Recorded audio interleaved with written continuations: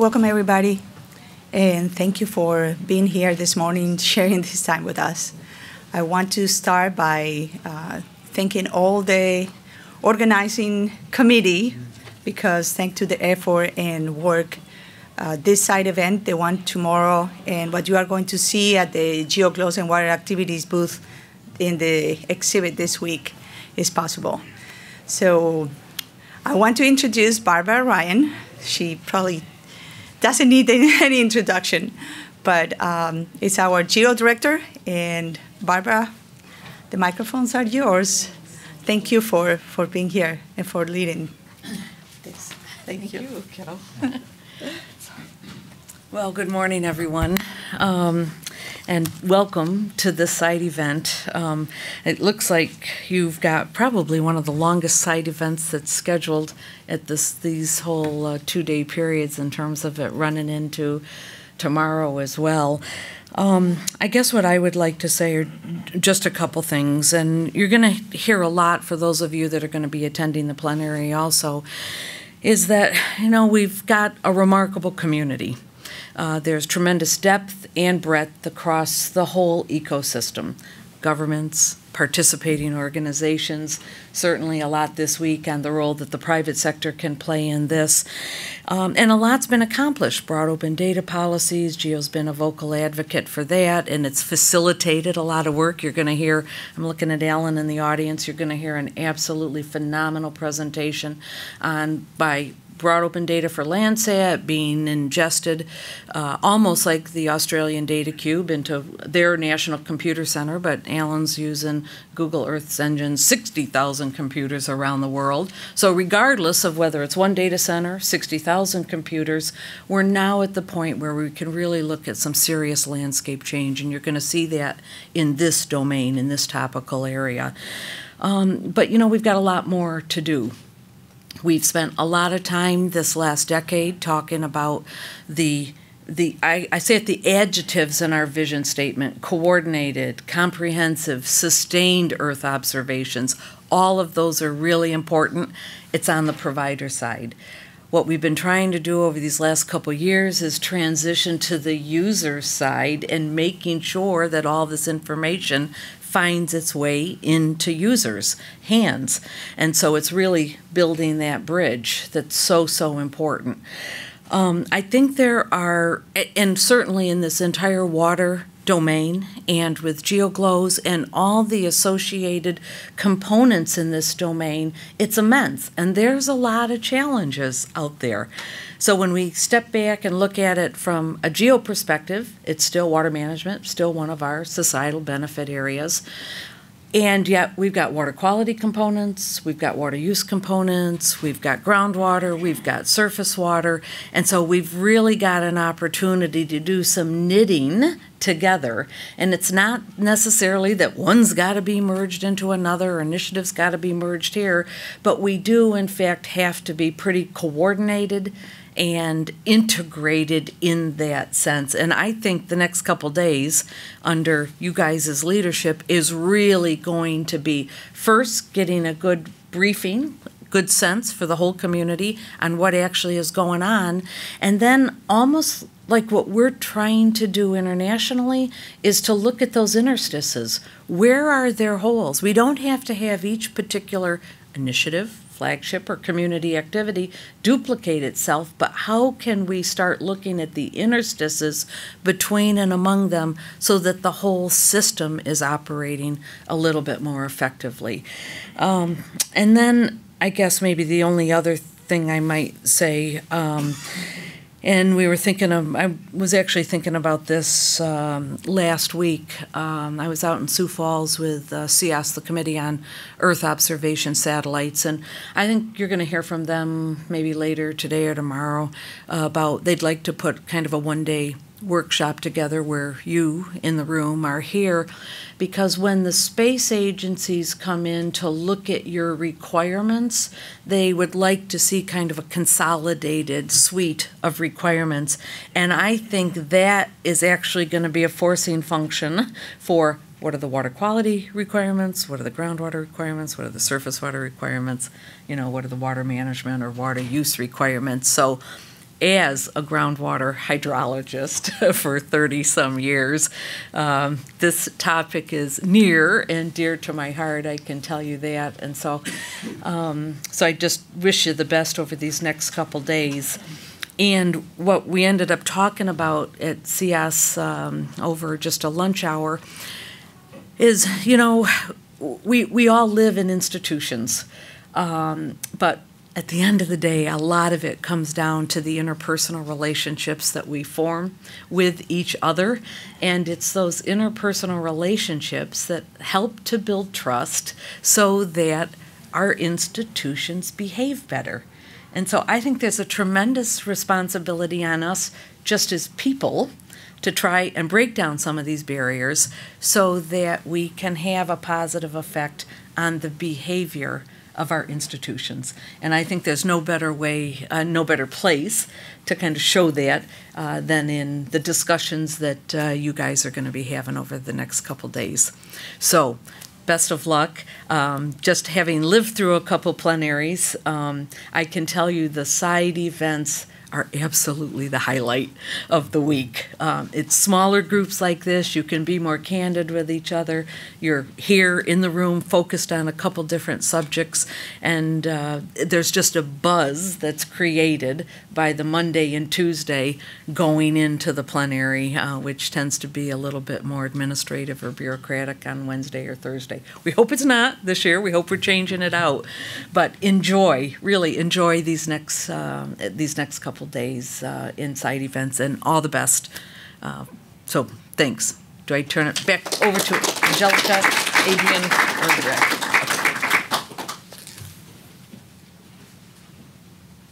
Yeah, thanks a lot, Barbara, for these inspiring and very nice introductory words. So um, it's my pleasure to be the first chair of today. So I will be chairing the GeoGlow session, which um, opens the um, this site event today. And um, actually because of the quite full program, as you might have mentioned. So we have to really take um, track of the time a bit. So we will have only rather short talks here, but the idea is that these talks will um, then inspire some of the discussion blocks we have planned for today as well, and we will have a World Cafe later. So um, and um, Vanessa Aellen from the Geo Secretariat, she will be the timekeeper here. So all the speakers, please um, closely watch her and um, keep your eyes open for these uh, signs because it's very important that we stick to the time. Otherwise, other people will not have any time for their talks at all.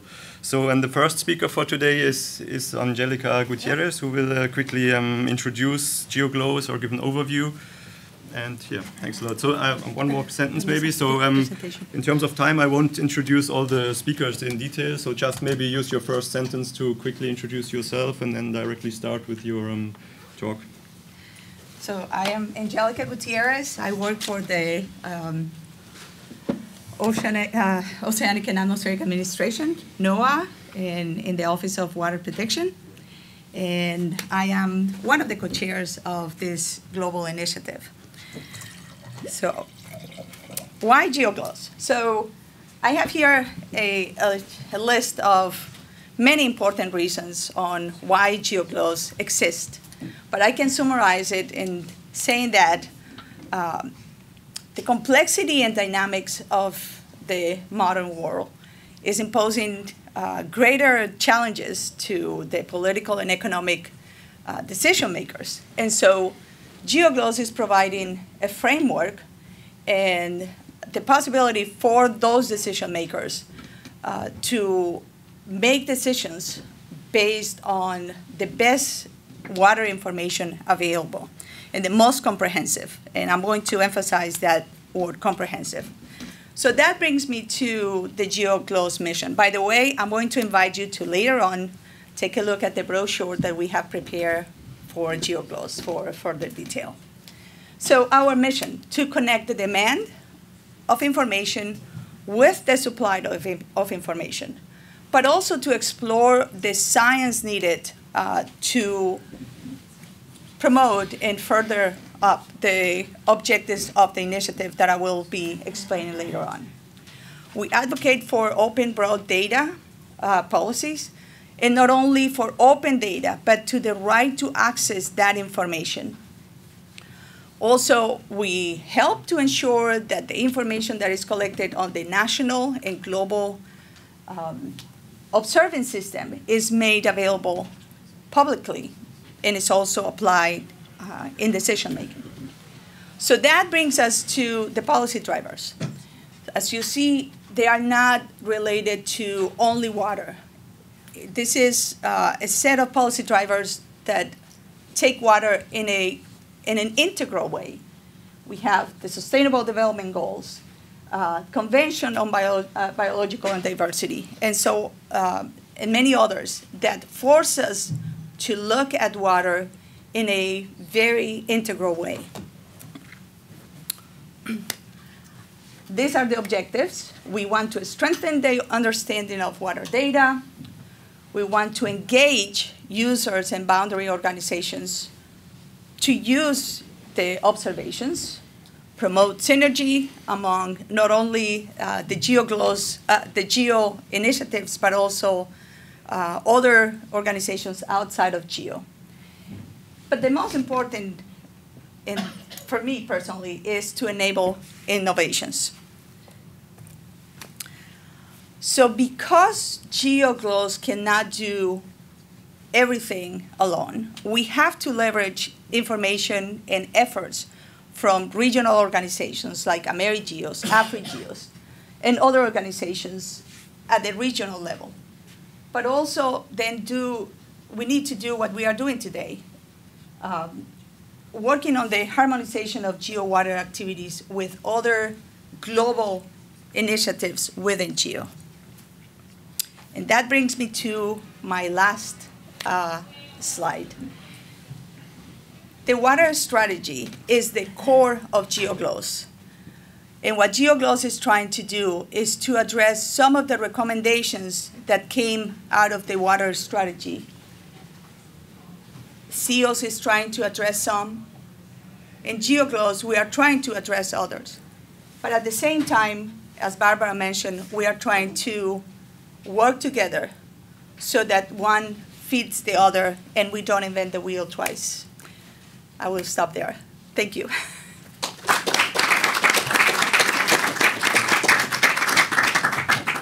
Thanks a lot, Angelica. So I think um, for the first talk we don't need any clarifying questions. It was just an introduction. Maybe for the other talks we can afterwards allow one question if there is enough time. So um, the next speaker is um, Jim Nelson, who will introduce um, the working groups, uh, the working group on data dissemination, the community portal, capacity building, and communication of GeoGlows. Thanks a lot, Jim. Go ahead.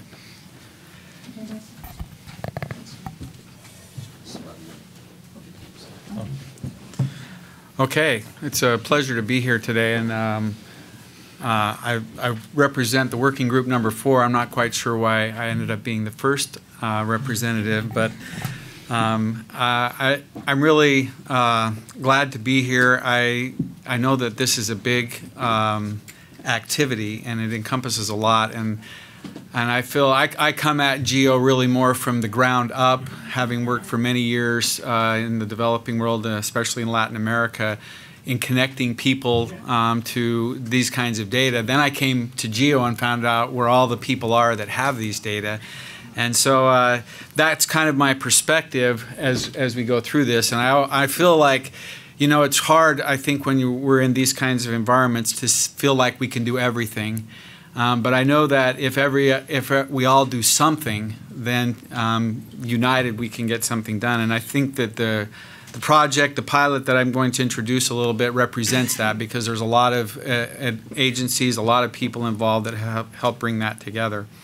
So in working group four, as was mentioned, we're on data capacity, uh, capacity building and communications. And when we met in, um, in Tuscaloosa in May, um, the objectives of our, our working group really were the harmonization of relevant data portals. And that's, that's a big thing. There are so many data portals out there, so many data.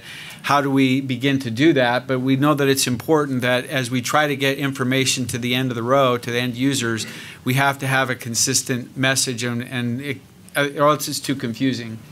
We also wanted to be able to better tell the stories that we have of success and a way to do that. So our goal was to start with the AmeriGeos portal, and I've asked Angelica a few times, okay, is there going to be a GeoGlows portal? Where, where does GeoGlows sit that way? And we, we need to be able to discover that. We're going to start with AmeriGeos, where we've been working already. then the other thing that came out of it was to develop a global streamflow uh, forecasting service and collect the stories. So we've begun collecting many stories. You'll be, you can come to the booth that uh, will be here during the uh, exhibition and see many of these stories, the contributions of the different groups that have been involved. But in particular, uh, we've developed um, at Brigham Young University with the collaboration of ECMWF and many other groups a new pilot on developing a global streamflow forecasting system from the ECMWF forecast. They provided on a global basis through their GLOFAS system. We've been able to downscale that to watersheds of any size, and now we're piloting that over more than almost 200,000 uh, stream reaches and watersheds in South Asia, Africa, and South America. This provides a 15 day forecast every day on each one of those nearly 200,000 stream networks. But one of the serendipitous things that have come out of this is the um, running the ERA interim to get uh, put these forecasts in context.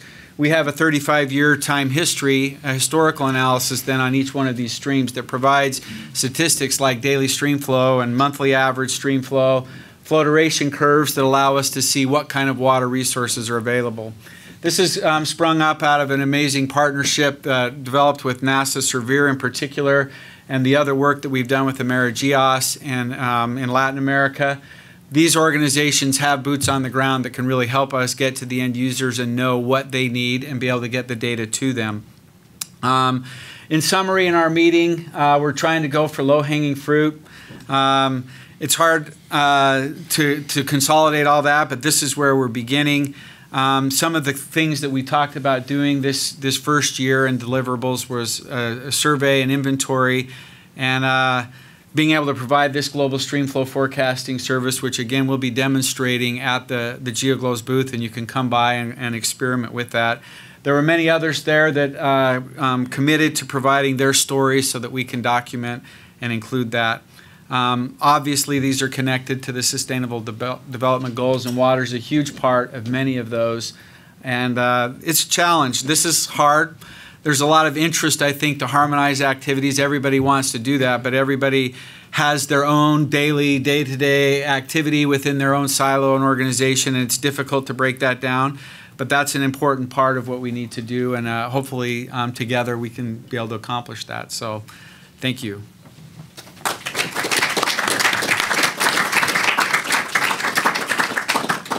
Thanks a lot, Jim. So, um, sorry, uh, sorry uh, there is some place.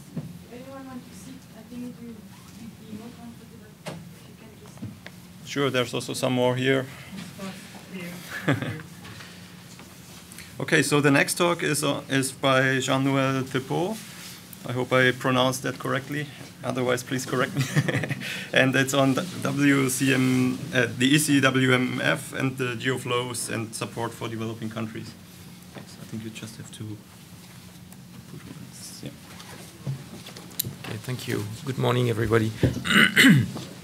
so I'm giving this talk on behalf of uh, my two colleagues, uh, Christelle Prudhomme and Frédéric Wetterhall, who couldn't be here. Um, I'm uh, not working on uh, on GLOFAS, but I'm working on another Copernicus uh, activity uh, at ECMWF, and uh, my name is Jean-Noël Thépaut. This is the right pronunciation. Um, first, for those of you who are not too familiar with the Copernicus program, so the Copernicus program is um, a, a, an Earth observation program which combines satellite observations, in situ observations, and derives some services. Uh, we have six core services which provide uh, added value products. And uh, one of them is the uh, Copernicus Emergency Management Service, which is run by uh, JRC, and to, uh, to which ECMWF is contributing. And uh, the one uh, activity that is relevant for uh, today is the, the flood awareness system that is being run um, in terms of production at, um, at the weather center. So flood awareness system, what is the need? Um, I think the rationale is that uh, there was a lack of coherent flood information and coordination in Europe. And uh, the aim of this uh, uh, European activity first uh, is to provide added value and transnational uh, flood early warning information to a number of authorities, national but also at the European level. And JRC, as a Joint Research Center, started this in 2003, and now it's a full component of the Copernicus Emergency Management Service.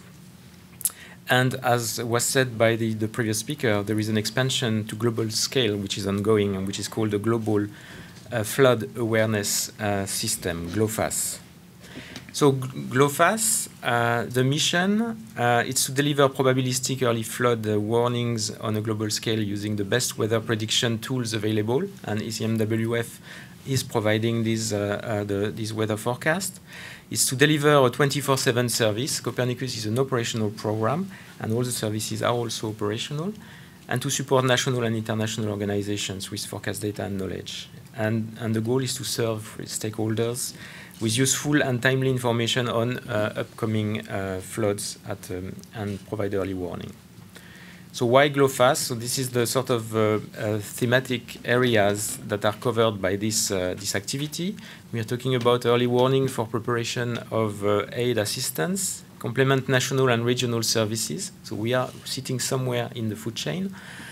Worldwide comparable uh, information, knowledge transfer and exchange, uh, support international organizations, and improve data sharing. So the keywords that were mentioned in the first talk by Angelica are also at the heart of, uh, of GLOFAS. So what is the methodology? It's to provide an, uh, an ensemble uh, system uh, showing discharge and return period, uh, indicating the severity threshold exceedance, uh, the, um, the persistence plots and freely available after registration is, is part of it. And the, the project governance structure, it started as a collaborative project and now ECMWF is contracted by, uh, by JRC uh, to provide uh, this activity as part of the Copernicus Emergency Management Service. Uh, the achievements last uh, over the last uh, years, um, sub-seasonal and seasonal lead time extensions. We are going um, further in in time. Uh, it's, uh, it's going to be extended to 30 days uh, using the, the monthly forecast system of ECMWF, and the seasonal forecast will be launched in, in November. it's um, officially going to be fully operational at the end of next month. And then there are some capacity building and collaborations which are also ongoing with a number of uh, collaborations with major projects like RIMES or UNESCAP. One example uh, there was one uh, in the previous talk. This is one case study about the dramatic uh, floods in um, uh, in uh, Bangladesh, India, and Nepal. And this is the type of uh, products that are delivered by by GLOFAS. it shows that it's not perfect because the, the pike the, of the event was not perfectly forecasted, but it shows that the early warning is is really there.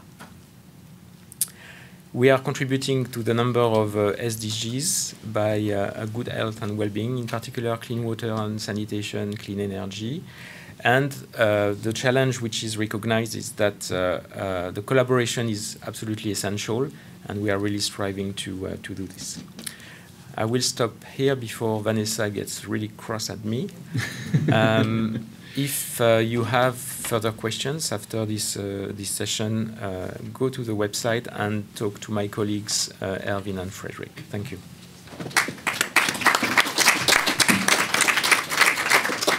Thanks a lot, Jean-Noel.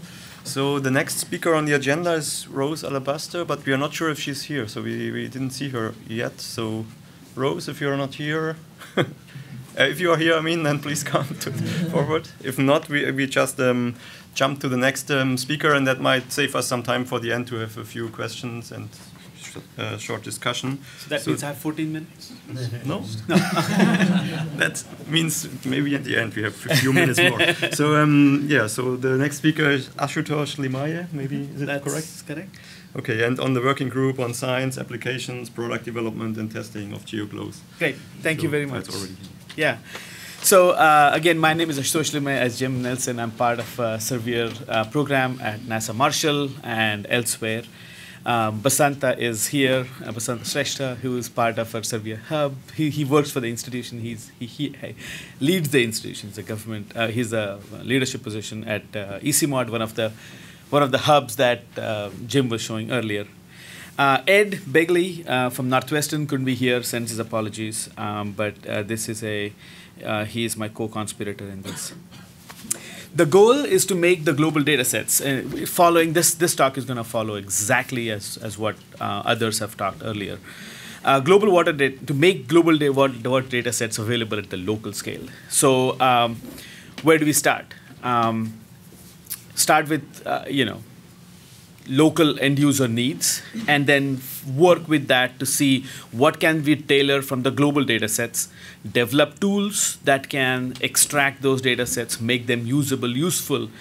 And then if we don't have those data sets specific data sets or specific tools we need how do we design those tools build those tools to help uh, cater the needs at local level so it's a, effectively it's a it's a con- continuum between a global scale data data availability to local scale needs and how do we fill it. Um, so identifying needs, you know, so um, as Barb was saying earlier, you know, we've we're trying to move to a place where we are catering to the specific needs of the end end, end users. Uh, several efforts have started looking at um, what the needs of the of the institutions are. Uh, FEWS NET, for one, is looking at how what is the drought needs um, of specific regions in East Africa, for example, uh, the Horn of Africa. Uh, GeoGlam is looking at the same thing, um, talking about connectivity with other geo initiatives. GeoGlam is looking at what are the needs of the ag ministries in specific countries and designing these crop monitors, and uh, we are we can we can have a direct connection with the way uh, they um, they work. Um, we also need to connect with NGOs. Um, and my previous speaker mentioned uh, there was this um, the flood in oh my goodness two minutes left. I've been here five minutes? Wow. Um, my previous speaker mentioned you know so uh, so we have a kind of connectivity potential connectivity with the with the insurance sector and see how the how the flood forecasts to a two week forecast from ecmwf how they can be used to um, alert um, the insurance industry. So and start with uh, small forecast-based financing to see if people we can get people out of the way. Uh, and such. So, what are the tools that we need to develop? So, that is the focus of this working group. So, we already have started extracting these needs. Uh, we've started exploring in Africa and Asia. Um, has done some work. Uh, there have been several porters that were mentioned. Um, uh, FEWS NET, as I mentioned earlier, GeoGlam, uh, Drought Status Monitor, EWX have done significant work. Uh, Tethys is another example. Jim um, fell, Jim did not quite go there. Uh, we have a session tomorrow. We have a talk tomorrow coming up um, by one of his students. Uh, that's a fantastic system, and we are using it more and more. Um, and I think that can serve the gap well. So, what are our deliverables for Working Group 2? Um, we plan to do a few things in the coming year um, write a white paper, first of all, and um, complete a study for uh, how do we connect the water availability from different landscapes, uh, different um, land use change as well as climate change, and see what, what are the priorities to mitigate the impacts and uh, develop an inventory of all the all the relevant non-geo applications and how do we um, how do we connect um, the current and the future satellites, uh, NASA, ESA, JAXA, whatever. And we are looking for for those who, um, um, of in the audience who are willing to volunteer. We have a we have we are looking at um, a um, a lead to to to lead the local to regional um, cross um, you know multivariate analysis. Uh, we have some ideas, and uh, I'll be happy to talk if somebody's interested. Um, again, food security is a and sustainable agriculture is an obvious um, societal benefit area that will connect directly with this effort. Uh, disaster resist- resilience, public health surveillance. Um, as Jim mentioned, this falls straight under uh, goal six of uh, SDG. Uh, there are several others, particularly two and eleven, are uh, quite relevant to this working group. What I feel that we need. Um, challenge as a challenge or as an issue i don't i don't, I don't call, call it quite an issue but a challenge is to for us to align um, there are several aligned activities and we need to figure out how we can coalesce together uh, as an uh, if, if we can provide an umbrella cause, maybe um, um, GeoGlow's portal, maybe the umbrella cause that can uh, enable these groups to um, contribute or do the work that they're doing, align the work uh, for a common cause. So that's all I have. Uh, if you have any questions, please feel free to send me an email. If thank you very much. Thanks a lot, Ashutosh. Um, so our next speaker is George Huffman on the working group on essential water variables and observations. Thank you. Thank you. Just uh, continue. Glad to be here. Um, I'm at Goddard Space Flight Center, part of NASA. I'm the Global Precipitation Measurement Mission Deputy Project Scientist. You know, bureaucratics, that means responsibility, not authority. Um, and I'm the team lead for the multi-satellite product. So what that means is I'm both a consumer and a user and a producer of, uh, of precipitation data. So, um, as, as a consumer, I've had to figure out where to get data in order to do this multi-satellite product in the first place, and the ground data that helps it. And so I've sort of been on the essential water variable side and observations. So, um, the, this group three is, is uh, an outgrowth of long-time work by IGWCO, the community of practice for the water cycle. And the idea is to establish a set of minimum set of essential water variables and assess the state of each. And then more recently, we've come to the point where citizen science observations and private data sources are starting to be important. And then finally, but certainly and most importantly probably, is uh, continuity in the observational systems and open access to data, which you've already heard about. So the goal is to make high quality, la la la, key water data sets freely available and easily usable. But if you don't have the numbers, you can't do that. So that's what we're worried about.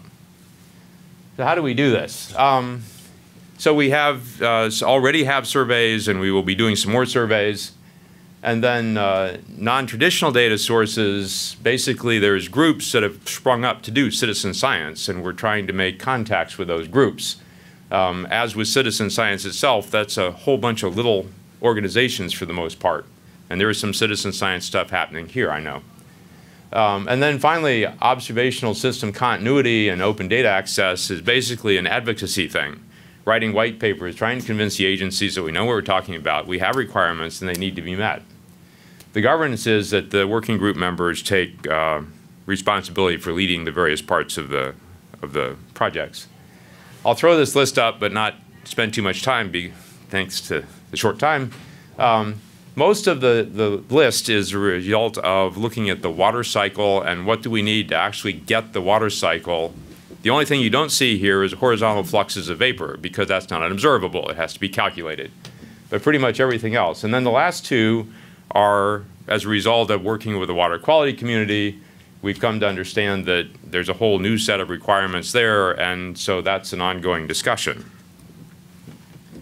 Um, and so what's happened as a result of the meeting in Tuscaloosa and since is that uh, we need a more formal definition of essential water variable and uh, sources and targets, start working with citizen science groups, and in general, continue to advocate um, for example, I wrote a white paper that went into the decadal survey that advocated for uh, continuing the constellation of precipitation relevant microwave sensors. Um, okay, so here's what we hope to be doing in the next year or two. We need to we need to do this continued sharpening of the essential water variables on both the water cycle and the water quality side um, look more seriously at the policy drivers. Traditionally in IGWCO, we were mostly worried about the sort of the science and, and operational aspects of the water cycle, but water quality is, is sort of a different beast, and we're, we're working with AquaWatch, USGS, and stakeholders on those kind of issues. And then citizen science really is going to involve getting a um, um, subgroup that's more conversant in that than most of the people already on the committee are. Okay, so um, just to continue, there are at-risk essential water variable systems. I think it's a characteristic of observing systems that in general they're in a continual state of collapse. And so we're always having to advocate that they keep going. And then continuing white papers on various aspects, and I list them here. These slides presumably are available, and so I'm not going to go through all the details. Um, there's a lot of the SBAs that we touch, and SDG 6 in particular. The challenges here are trying to figure out exactly how to structure the water variable stuff. You know, this is an ongoing discussion between sort of the water cycle and water quality people.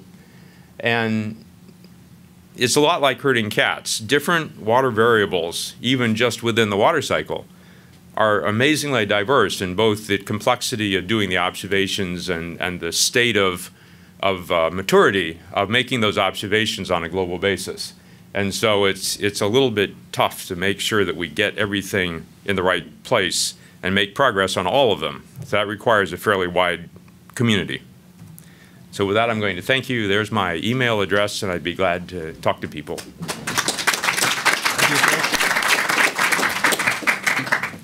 Thanks a lot. So the next point on the agenda is an, an optional point. So we had uh, Paul DiGiacomo and Jose Romero. I think Jose cannot be here, but Paul, if you want, you can take a few minutes to add some additional comments on the um, essential water variables. I think, did you have any slides? No slides. It's just, okay, great not too much. If you give me slides, I'll, I'll, bust the rest of the agenda. So good morning, all. Paul DiGiacomo from NOAA Satellite Services. I'm also co-chair of the Geo AquaWatch initiative, which is for water quality monitoring and forecasting service. And George set up the, the presentation very nicely, I think, in terms of what's being done more broadly in GeoGlows, but then as a subsegment of that in terms of what needs to be done vis-a-vis -vis water quality essential variables and it's it's very challenging. George gave very apropos in terms of herding cats because it is definitely a cat herding activity. For example, there's the different scales that are in question for SDGs. Um, UNEP has articulated a full suite. Um, of, I forget, probably about 20 or 30 different uh, essential variables to meet the SDGs in terms of SDG 6 and some of the other ones. But then you have entirely different scales on local and regional levels, for example, in the United States with the EPA, in Europe with the EEA, in terms of what their requirements are, monitoring in very um, small local scales all the way up to national and international scales. So the challenge is how do we balance and how do we reconcile? And that's part of the ongoing discussion between GeoGlows and the essential water variables. And then, like I said, with AquaWatch in terms of water quality and um, crosswalking those. I think, and this is an activity that's been done just for a little bit of history. Um, there have been many iterations of this actually over the past 10 years. I used to co chair the Coastal GOOS Panel, Global Ocean Observing System. Um, we laid out what we called essential coastal variables. So there's lots of different flavors of essential variables. And one of our foci for that activity was on water quality and pathogens in coastal zones. We identified some. There's a more recent iteration of GOOS in terms of the GOOS Biology and Ecology panel, um, which is also focusing on some of those essential variables. And then, so how do we crosswalk those with what's going on in the water community, what's going on in GeoGlows, and what's going on vis a vis the essential water variables? So I think those are some of the upcoming discussions we need to have. You'll hear tomorrow I'm giving a talk on AquaWatch and in terms of um, some of the activities we've undertaken, instead of trying to map you know the universe of essential variables, we've focused on a few that are fairly mature that we know users wants. For example, turbidity, and looking at turbidity in NTU uh, units for those aficionados of, of water quality and saying that that's something we can do via satellite. It's something we can do in situ. It's a global measurement, and it's done at all the different scales, and we're working to try to ramp up that. But again, we know that turbidity is not the extent, obviously, of the water quality uh, universe. You have to do pathogens, E. coli, fecal indicator bacteria. There's various contaminants and metals and things like that. Part of the challenge, though, is also what are, I'll say, relatively easy to make, or at least tractable, measure, tractable measurements to do on a global scale. Which is a different issue. And there's been a lot of progress made recently, particularly with some of the um, the, the microbiological um, measures and to do rapid assays and testing. And then, like I said, going to the opposite end of the scale, increasing maturity on the remote sensing side, which is my day job. So, so I think that's just a little survey into what's been done, um, where we are now, and then looking ahead to the future, the increasing discussion between GeoGlows, um, between AquaWatch, between some of the other entities that are out there under the auspices of Geo, and figuring out what's tractable, what are the priority measurements, and then laying that out for the next five, you know, 10 years, and uh, probably with a white paper forthcoming. So thank you.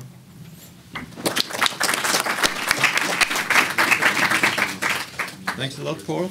So actually, this leaves us now, yeah, almost 15 minutes for um, questions and discussion before we start with the next point, which is a panel.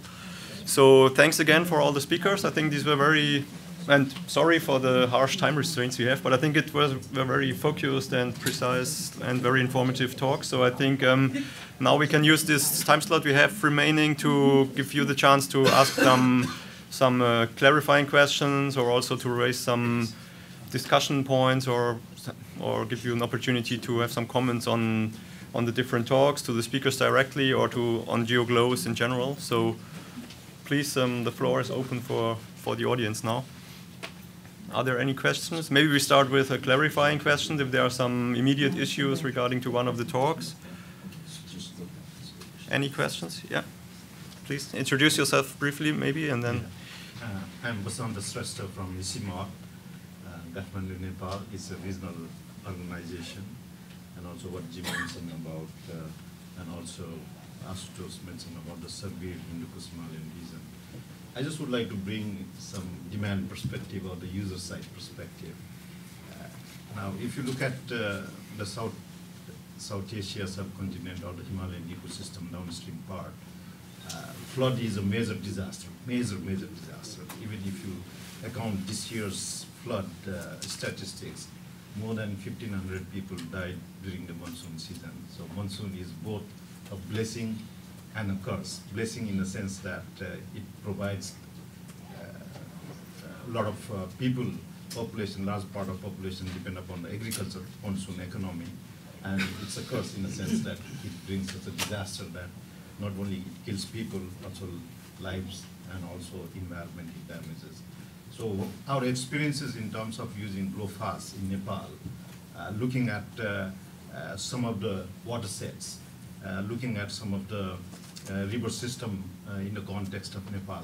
Now, if you look at the whole topography of Nepal or in a mountain environment, the kind of the observation is very, very limited. The hydromet services are very, very limited. So the, it underscores the value of such a flood awareness system. So we are testing uh, this, some of the uh, models, downscaling to water sets, uh, in some of the basins and some of the water sets, and we are working directly with hydromet services in the government to build the capacity of the government. But my key point is we are also in, in, the context of science, technology, and innovation, but how we can really use this in the government system, in the national system, so that it can be used in the context of the flood early warning system. So Geo, GeoGlows and the GLOFAS is a really uh, good system that we believe which can be adopted in a national system. So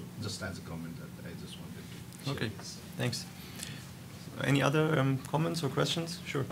So for the, the flood people, I'm just curious what the state of the art is with respect to dam and reservoir operations, because it, that's, that seems like the flood people I know have really, yeah, you do really well with natural flows, and they get to a regulated. It's just a mess. And so I'm curious, are we getting the data? Is there a prospect for getting data about dam operations? I think it's three panelists.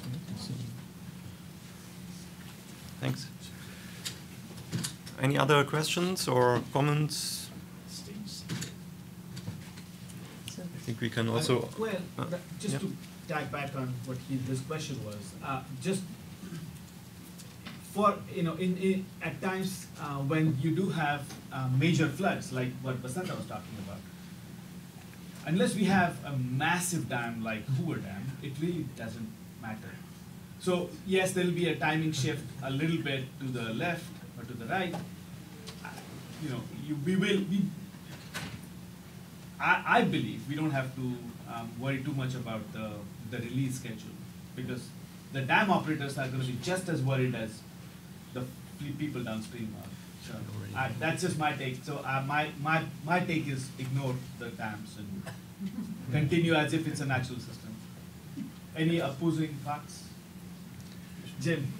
No, I won't oppose that. I, I wish, uh, I have a colleague coming from the Dominican Republic that we've worked with, and they have the struggle that, you know, one of the challenges they have is that the energy companies often operate the dams, and they have a motivation to keep the dam full.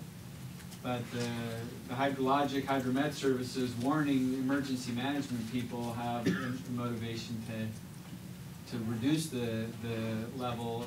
And so having tools to accurately predict is really important because they want to have confidence that if they're going to predict the flood, that the energy people are, are willing to release water So just to the for flood center. storage, um, and, and not be compromised that way.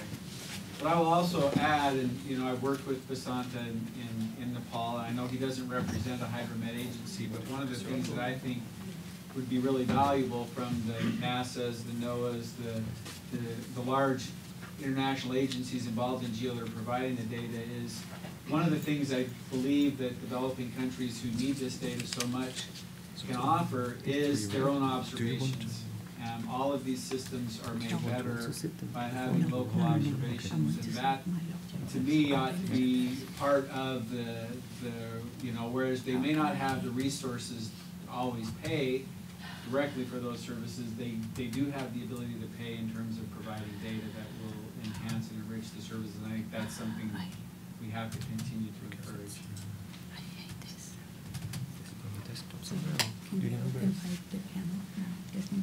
Yeah, sure.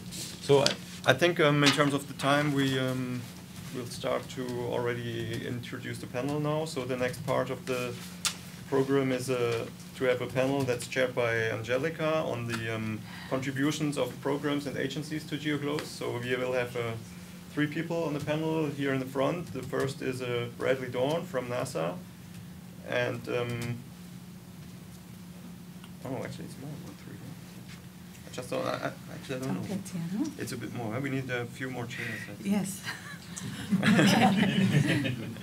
so the, we have Vanessa Aellen from the Geosecretariat, um, Bradley Doorn from NASA, then Selma Cherchali, I hope I pronounced it right, Cherchali from CNES, CNES, and then Tom Graziano from NOAA, Nagaraja Rauhaji um, from the World Bank, and Osvaldo Morales um, From CEMADEN. CEMADEN, Brazil, and Paul DiGiacomo from CEOS. So, um, yeah. Can, can we put it in the, in the, presentation the one- yeah. mode. That's the one you need. That's it.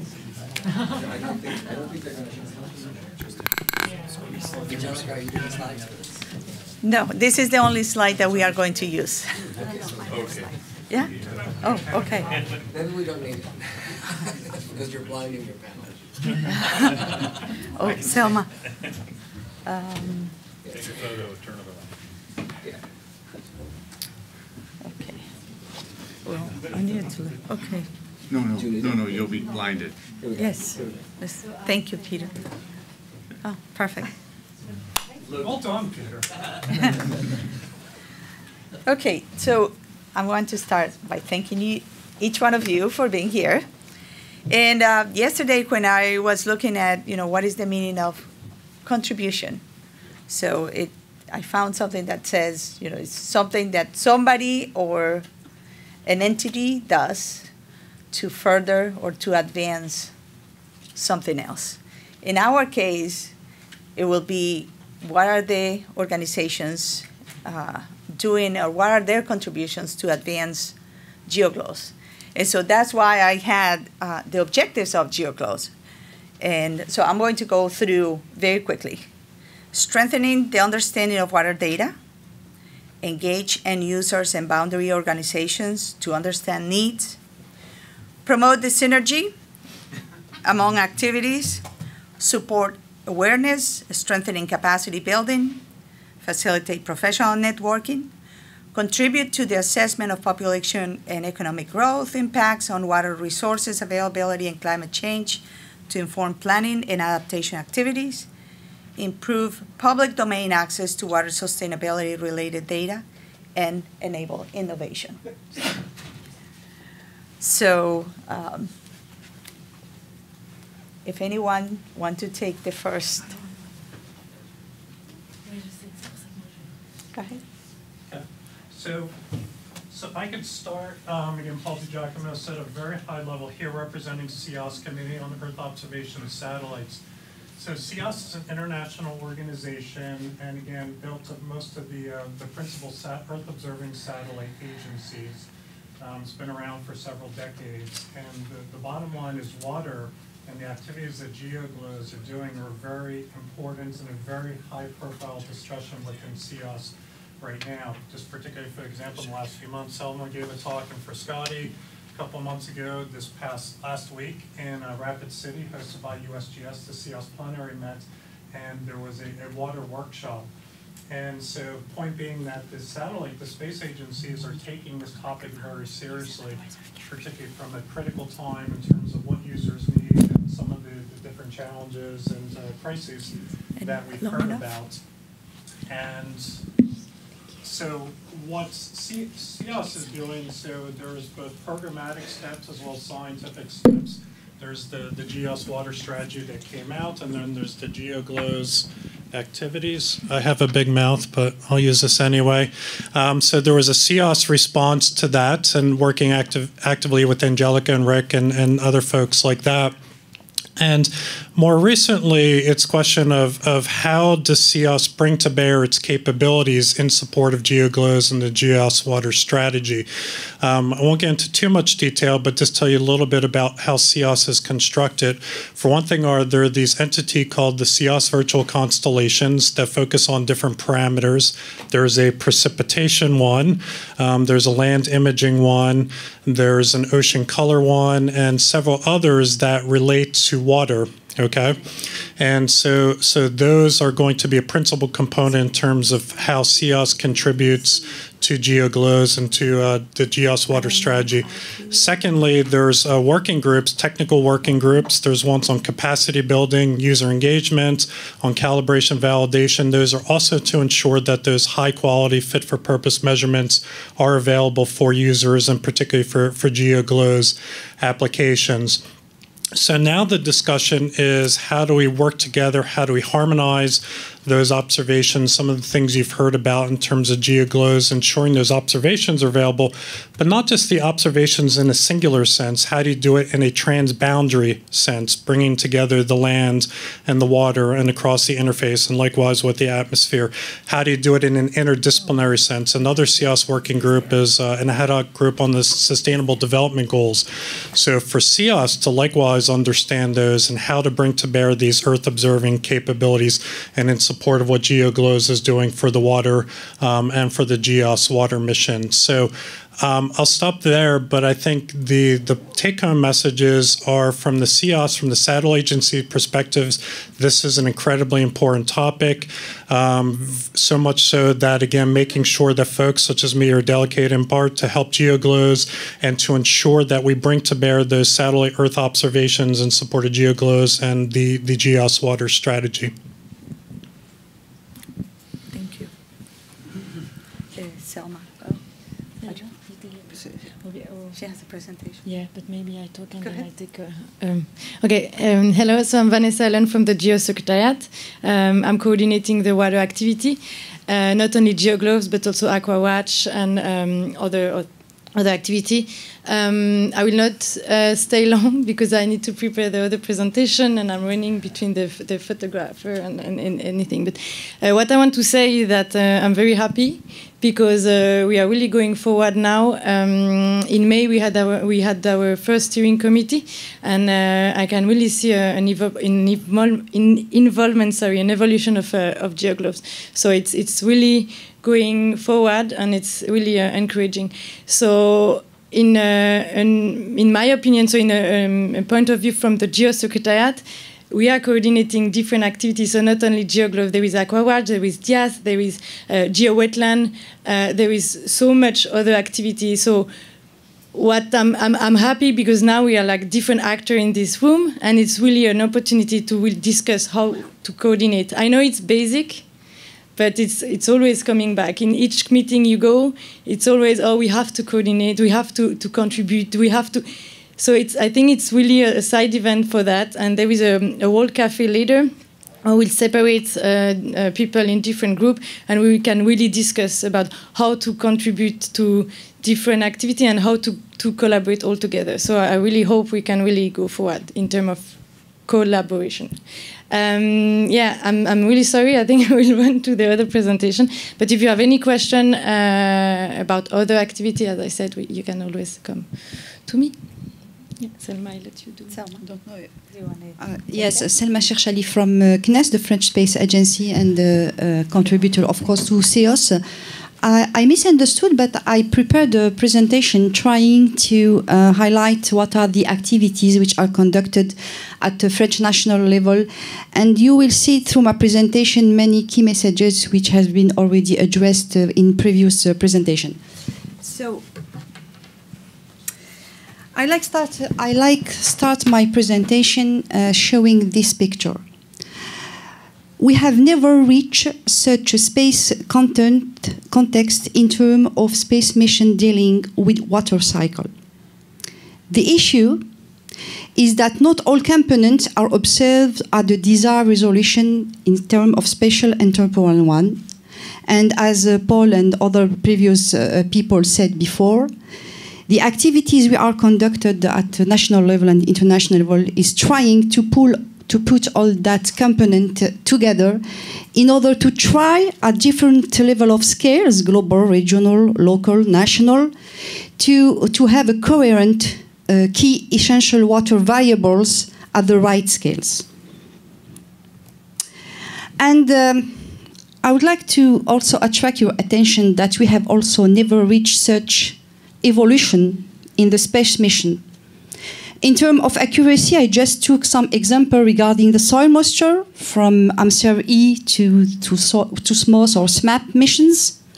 In terms of increasing the spatial resolution, reaching then what hydrologists in situ are already trying to measure, and we are also trying to attract the attention of this e new involvement. Increase in terms of temporal resolution with Copernicus operational Sentinel missions, and of course, increasing in accessibility data.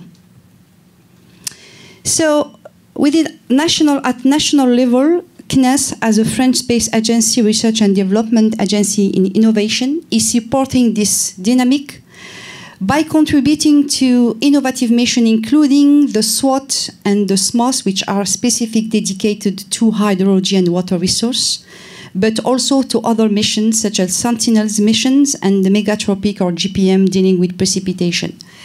Supporting research activities and increasing the relationship between research laboratories and water actions, actors and we have many ongoing activities. Of course, I will just take some few examples in order to show you how we are trying to make the bridge, the bridge links between those actors and research community and the space provider data. Within an, an important program, which is called the SWOT preparatory programs, and we have already at European level now a Copernicus water and snow service in the Copernicus Global Land Service, managing by the JRC. And with the long-term sustainability, uh, including this important uh, component of water also in the Copernicus Climate Service. And this water preparatory program is trying to pushing forward the water resource application by having an approach which is a multi-sensor approach. Giving the first slide I show you, we have never been uh, reached the, such a context, conducting many research and development activity in close relationship with the act, water actors. Just some few insights and examples. Within the Nadir altimetry uh, history, long history, and continuity measurements, we have uh, already at European level, as I said, a Copernicus service uh, based on uh, 10, more than 10 years of research and development dealing with altimetry mission for rivers and lakes. Of course, uh, as a space uh, agency innovation, uh, we are also preparing the next generation, which is the SWOT mission, which will give us an unprecedented global observations at the global scale. And from SMOS program, which is the dealing with the soil moisture, of course, uh, uh, we are trying uh, uh since its launch in 2009 to, of course, build the right information, product information, because we are not, we cannot speak about water resource management without any information indicator products in a, in a very qualified way. Trying to transfer this knowledge to operational services, as you will see, and uh, having, of course, a, a government proje project uh, structured at national level within the Land Data Center Theia. So we developed uh, at national level a portfolio of products, surface soil moisture, an important product which is the root soil moisture, which is ab able to make forecast for the drought, agriculture drought, within assimilation of the soil moisture within a, a model, drought index at global scale, a soil moisture at high resolution dealing with regional aspect, as I, we said before, and of course the water fraction on some specific area, here an example on Amazon basin. And of course aiming to have long time series with the flood risk information. Just to show you some very quickly, very example, uh, one an important uh, thing I would like to highlight here is that within assimilation of the space data uh, combining with EC2, uh, we built a fire risk monitoring and we proved that in uh, for the fires in Canada last year, with the early warning of dry condition and fire risk uh, was uh, provided based on the root zone soil moisture anomalies. This is another example showing the, uh, the so SMOS monitoring phase major draft in 2015.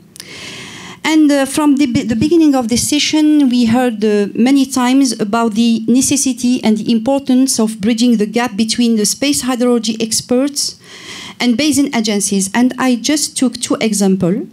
One with the, uh, within the uh, uh, Tensift watershed in Morocco, where you see here the, the importance of water for life, for agriculture, of course, and, and so on.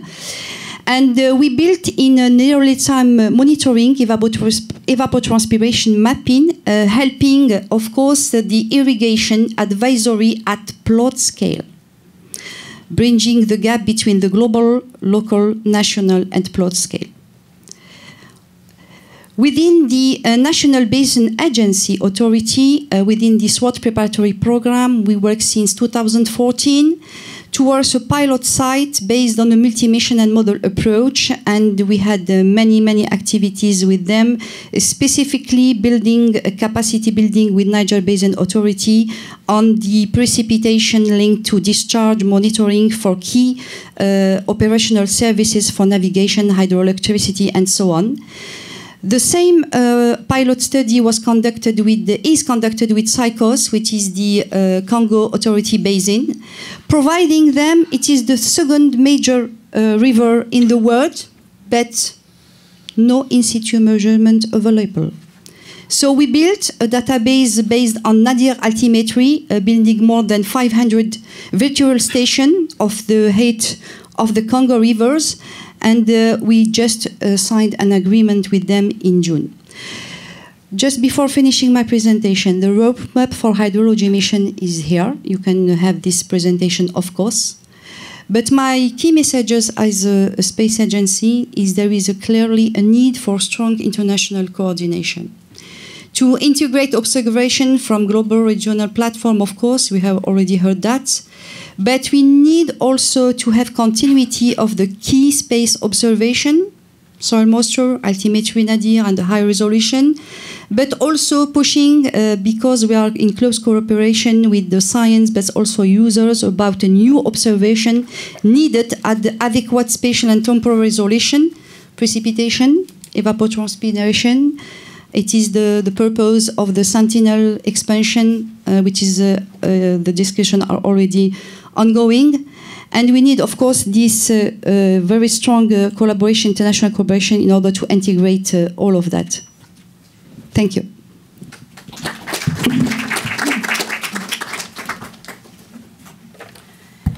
Thank you, Selma.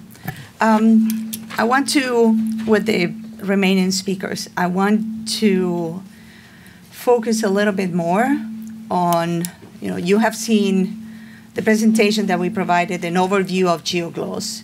So let's try to be more specific in the sense that it's not about, you know, what your organization is doing. It's about how can you provide, you know, further, how can we, can you help us or your organization help us to advance those objectives that we have uh, shown in the in the presentations, either on you know innovations or uh, capacity building, uh, services, etc.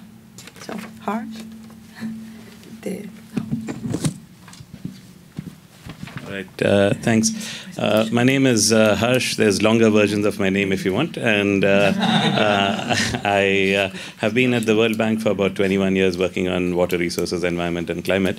And I think the question here is not what GeoGlows can do for you, what you can do for GeoGlows, right? So, uh, in that regard, uh, you know, given what was presented, uh, there's about three broad areas in which I think places like the bank can help in terms of both helping GeoGlows with its products as well as using a lot of the products from GeoGlows.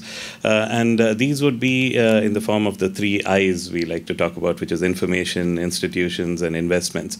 So, on the information side, there's a lot of work that uh, different parts of the bank are doing, uh, for example, and trying to see if we can get uh, a better handle on all the water related data that we can help our countries with. As you heard in one of the first presentations, I think Ashutosh said, there are lots of portals out there. Everyone is saying, you know, uh, come to my portal and look at my one piece of data. So instead of that, can we uh, try and see if we can encourage everybody to start putting a little bit more in the public domain? Can we create ways in which a lot of these uh, information can be pulled together and visualized in uh, ways in which it can go up the chain from data to information to knowledge to decision support, right? And hopefully we'll get a chance a little later. I see I've been volunteered for a couple of other sessions today uh, to try and see some of these live. Uh, one of those is uh, an activity we'd like to uh, call Spatial Agent. It's a free app you can download. Uh, and we've made it now much cooler looking. Hopefully the new version will be up next week on the, the App Store. and it's a good way to try and uh, look at all of the different data products that uh, many of you are producing and seeing how to get it uh, on your phone and uh, you know in ways in which you can integrate it in portals and uh, other forms. The other is in terms of using the information also for the second eye for institutional development, which is uh, relating to e-books, for example. So that's something that we've just introduced at the bank. Till now, uh, e-books at the bank meant just a PDF version of a publication, and uh, one of the things that we are trying to do now is to see if we can add interactive elements such as interactive maps and lots of multimedia and other things. And we'll show you some examples where we've started working with uh, NASA and others, for example, to make an e-book on Earth observation for water resources, as well as now we are doing other versions for looking at in situ monitoring and a whole range of uh, other uh, uh primer for different types of spatial data and so on. And we'd like to work with all of you on these kinds of products because we consider these to be living products that will keep getting updated uh, based on the new clever stuff that all of us are working on. Uh, and uh, related to that, on the institutional side, we'd also like to see if we can uh, explore using our new platform, which is the Open Learning Campus that we have at the bank, to try and see it's like a Coursera or edX, but aimed at development professionals and governments, to try and see how we can use those to get better packaging of knowledge, whether it's in the form of ebooks or webinars or MOOCs or other things, to look at all the, the, the clever people working on different aspects, but make it better related to uh, the governments that we're working with. At the bank, we have about 16,000 people in about uh, 130 plus offices around the world. So can we use also our video conference network? Can we use the fact that we have people in every office that know people by first name in each of these ministries, uh, like water resources, environment, agriculture, and so on, to make better connections, not only to learn, but also contribute to global good practice. And more important, to also help the products become better. So, for example, everyone is uh, hungry for data relating to, uh, let's say, uh, calibration or validation of a lot of the models that uh, are uh, being developed. So, can we play the role in terms of trying to network a lot of the people developing these kinds of tools with the people who will be using these kinds of tools uh, and get the data flowing back and forth, at least for calibration and validation, if not trying to put the data more in the public domain. And the last uh, is in terms of the uh, investments. The bank uh, invests, uh, uh, provides investment to the tune of something like about 65 to 100 million dollars, a billion dollars every year in all the countries of the world. So, and a lot of this is now going towards not just uh, building a road or building a power system, but more to leverage other resources, uh, such as domestic resources, private sector resources, other financing, and so on. So, can we use the same concept also for knowledge, where we use the combined uh, knowledge that's here to leverage other people's knowledge uh, so that it can be better uh, pulled together? But also, in terms of the investments, a lot of these don't come free if we need to uh, improve the investments for in situ monitoring or investments for computing or investments for accessing cloud computing or uh, a lot of these uh, uh, kind of improved institutional infrastructure and other things. In addition to using a lot of these data for the actual infrastructure on the ground, such as better managing watersheds, better managing dams, better managing irrigation systems, flood management, and so on. So a lot of these can be used to try and pull together a lot of uh, these kinds of uh, uh, data, information, knowledge, decision support to provide decision support for planning where you put the next system, water system? How do you manage it better? How do you operate it better, and so on? And uh, reduce the transaction costs and the time that it takes to get a very clever development, like we saw today morning with a lot of the GLOFAS type stuff, which I think is very exciting to get, for example, 10-day forecasts for flows in a probabilistic way, and to use that actually for decision making at different levels. So these are things in which at the bank we'd be happy to work with all of you on these kinds of things so that we can uh, better uh, get our uh, clients better networked with global good practice in this regard. So thanks. Thank you. Thank you. Hi, my name is Tom Graziano. I am the director of the Office of Water Prediction uh, in the National Weather Service, which is part of the National Oceanic and Atmos Atmospheric Administration. And I would say the greatest contribution that, that we in, in recent time have made to GeoGlows is providing uh, Angelica Gutierrez's time and services to support the co-leadership of this uh, this this group. So. Angelica um, is one of our most talented folks. We're not a big organization. We have about 115 people in the Office of Water Prediction, and Angelica is one of our most talented folks, and we spare the, the, provide the lion's share of her time so that she can support the important work that, that all of you do. Uh, a little bit about the Office of Water Prediction. Uh, we we in the Weather Service are operational. We're 24 by 7. We support uh, 13 our infrastructure uh, that provides uh, watch warning and uh, decision support services across the country. Uh, we support 13 river forecast centers and 122 weather forecast offices across the country. Uh, and, and, fundamentally, we're, we, in, in, the Office of Water Prediction, we have the National Water Center, the new National Water Center, which was referenced a couple times in a couple of talks when Tuscaloosa was mentioned. It is on the campus of the University of Alabama in, in Tuscaloosa. And it's a, it's a relatively high TRL shop or technical readiness level shop. We are an R2O or research operations. Uh, that NOAA is just one of, in this country anyway, is one of uh, 24 federal agencies that have some hand in water. Well, the swim lane that we operate in is water prediction. So we're all about transforming our water prediction capabilities. And uh, what we do is we work with other federal partners, the academic community, um, the private sector to evolve or transform our water prediction capabilities. And so, um, how do we do that? Well, uh, we uh, one way that we found very effective to make that happen is uh, we opened the water center. Uh, we cut the ribbon on this facility on the 26th of May, 2015. The very next week, we held the first what we call Summer Institute at the National Water Center. Uh, it's part of what we call our Innovators Program. We work with the National Science Foundation and a group called CUAHSI, of which Jim is a member and others. Uh, it's the Consortium of Universities for the Advancement of Hydrologic Sciences Incorporated. And what we do is we we have a competitive process where we bring in graduate students, uh, top tier graduate students from across the country on a competitive basis to focus on different thematic areas. And the very first year that we did this, what we wanted to demonstrate is that we could uh, we could predict, uh, generate predictions for uh, uh at very high space-time resolution, uh, continental scale predictions of the entire nation's stream network simultaneously in a high-performance computing environment in real time.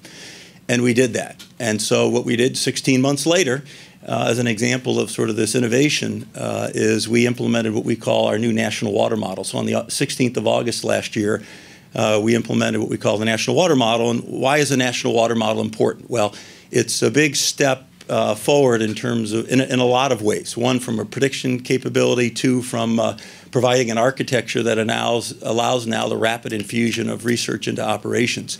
To give you some sense of the fidelity of the information that we now generate, uh, historically, over the past several decades, we typically just provided um, uh, forecast at about 3,600 of the 8,200 USGS stream gauges across the country. Now utilizing the national water model, and we did that essentially on a six hourly or 12 hourly basis. Now we provide on an hourly basis forecasts for 2.7 million stream reaches across the country, uh, leveraging the U.S. Geological Survey's NHD Plus network or National Hydrography Dataset Plus, a very, very high fidelity network. And what we did, so sort of the target that we're aiming at in, in the Office of Water Prediction in NOAA is defined based upon, I saw in a couple of slides here this morning, the need to go out and talk to customers and, and stakeholders so you understand clearly what you're trying to achieve. And so what we did over the last five to seven years is we went out and talked to all manner of stakeholder in this country. Uh, it didn't matter what you know sector you were in, whether it was emergency management, water management, ecosystem, hydropower, recreation, transportation, you name agriculture. And we fundamentally asked them sort of what keeps you up at night? What are the decisions that you make on a routine basis for which you have insufficient information? And what we did is we, we identified five fundamental thematic areas. One was water availability, one was water quality. These are themes that we've seen on the board here. Uh, one was floods, one was droughts, and then one that sort of cross cut all of them was climate change. How do we deal with that?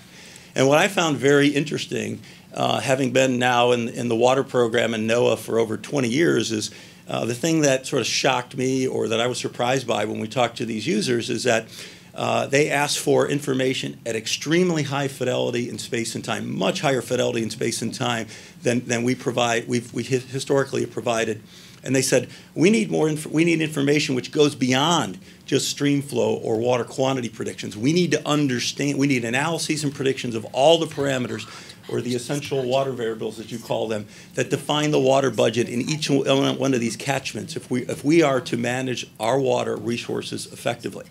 So that was a little startling for us. And then beyond that, they said, not only that, but we want you to work with us to take that information, that high fidelity information, and link it with geospatial, other geospatial information, whether it be economic, demographic, infrastructural, et cetera, to take that water prediction and convert it into actionable water intelligence. And you talked about decision making, as have other people, and that's really a critical aspect of this. So this is not just a challenge from a physical science perspective, but it's really a challenge also from a social science perspective. How can we can, can effectively communicate this information in an actionable way? And I think we'd all agree that that fundamentally uh, we all we could come up with the best predictive capability in the world. Uh, we could be clairvoyant with our forecast, but if we don't communicate the the intrinsic value of a clairvoyant forecast is essentially zero if you don't communicate it well. So we really have to pay attention to the communication piece. And so um, you know, that's what we're working on. We, we, we're working, you know, uh, so it's not just the modeling capability. There's a lot of science work that needs to be done there, whether it be dealing with anthropogenic processes. And we heard some comments about that. Here in this country, anthropogenic processes, we have to account for them because they have such a profound effect on our, our water predictions. And we're now we're looking at exploring a machine learning approach to, to look at, to, to, to explore that. Um, you know, things that we're working on with the National Water Model, uh, teaming up with the USGS and others on shallow groundwater modeling capabilities. hydraulics, uh, water quality issues, um, uh, coastal coupling to get the total water forecast right in the coastal zone, um, et cetera, et cetera. There's a lot of work to be done. I like to tell people sort of we're crawling before we walk, before we run. But we've got a clear target in sight, and, and, and the vision for the future is, is really bright. And so we're really excited about what we're doing and uh, and encourage you know collaboration with Geos. Uh, essentially, what we produce is non-proprietary. Uh, and certainly available for guys like Jim. Your presentation, Jim, was basically, you know, in part anyway. Uh, you've been a part of our, our summer institutes the first three years that we've had. By the way, we do them on an annual basis. And that, that work is there to be leveraged and applied elsewhere by change agents like you, Jim. So, uh, and the other folks in this room. So maybe I'll just leave it at that and take any questions. Uh, no, but I, I, not to put you in the spot. Sure. Uh, on behalf of GeoGlows, definitely we accept uh, the sharing of, of that survey and, and that information. You know, five years of work is, is definitely um, mm-hmm. a good amount of, of effort there. And, and I'm sure that we could leverage that information to, um, you know, in the community to see what we can do to you're happy to provide it. It's, it's readily, all the, you're talking about all of the uh, stakeholder engagement work? Yes. Yes, that's Yes. readily available. It's all documented, yeah. Thank you. Okay, sure. Thank you. Osvaldo? Hi, good morning. Uh, is my presentation ready? Yes. Yeah.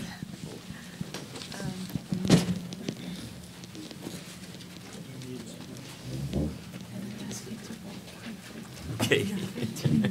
Thank you, Angelica. Well, uh, the Brazilian territory is not prone to major disasters like uh, earthquakes, hurricanes, tsunamis, but uh, year by year the country has been more seriously affected by floods, flash floods, and droughts and landslides. Over 5 million, uh, 5 million of people uh, mostly poor and vulnerable, uh, in areas of uh, high disaster risk in Brazil. Uh, other 25 million lives in the semi-arid region. And nowadays, we are faced with uh, uh, the risk of lack of water in the metropolitan region of São Paulo City.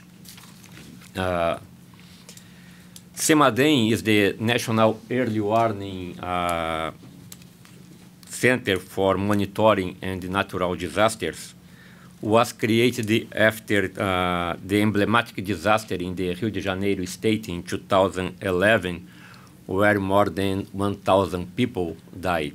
Uh, and the center implements continuous monitoring uh, of adverse hydrometeorological and climatic conditions which may uh, trigger process that produces uh, imminent risk of natural disasters. Uh, the goal of CEMADEN is to use uh, interdisciplinary perspective to address scientific questions on natural disasters.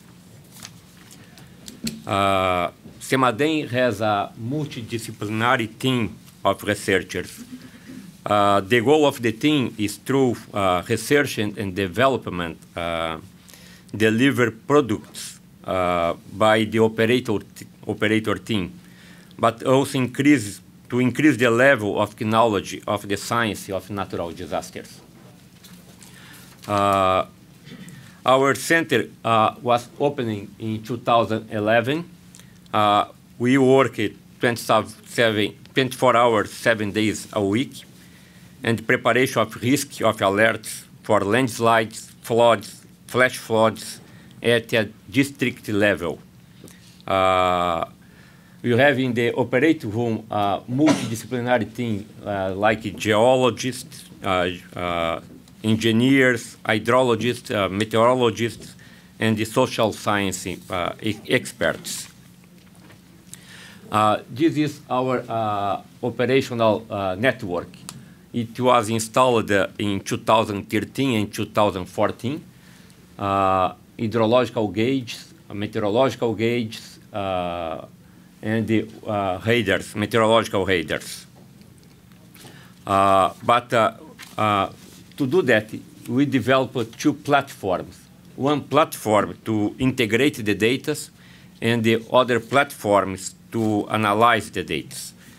Uh, this is the number of our network at the uh, right side, and the left side the list of the other uh, sensors that we receive in real time from other partners, state and uh, at level of federal and the state uh, level. Uh, uh, this platform makes the operational transposition of a large amount of data to be used by uh, researchers and the operational team. This is one example that uh, we are doing to uh, deliver uh, early warnings of floods. In Brazil, most floods forecast in the warning system are based either on simplified models uh, of flood wave propagation or on stochastic model. CEMADEN is developing uh, an operational warning system that proposes to increase the lead time of warning through the use of ensemble forecasting models. Uh, this is another example uh, from uh, hydrological ensemble forecast. Uh, one case study for, uh, for the Acre state in the north part of Brazil, in the Amazon region, considering two the different models, uh, one from the INPE, the National Institute for Space Research, and the, the GLOFAS. Uh, the other uh, example that I can show to you is to, to uh, to study the water availability of San Francisco River. Uh, it's located in, in, the north part of Brazil, uh, northeast part of Brazil. Uh, it's based on meteorological and hydrological models to improve water management and alternatives to attempt sustainable sustainability of water manipulation. Uh, well,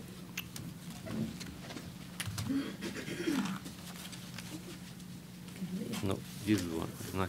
Okay, thank you. Uh, large portions of uh, Brazil in the northeast have experienced uh, intense and prolonged drought since 2010. Uh, it has sparked a new round of discussion to improve uh, drought policy and the management of water use at federal level. Uh, you have uh, in this part of Brazil a network uh, that has near 600 sensors, different sensors. And uh, well, in this, the last uh, slide is, is to show to you how you are uh, helping the federal government to control the water uh, used in the São Paulo region. You can see that uh, in 1953, uh, uh, in this color, is the level of the reservoir in uh, near uh, that is used by São Paulo city. And in 2013, 2014, this is the level of the reservoir. So uh, then you are using the same type of model, ensemble model, to do uh, different scenarios for the future. Thank you, Angelica.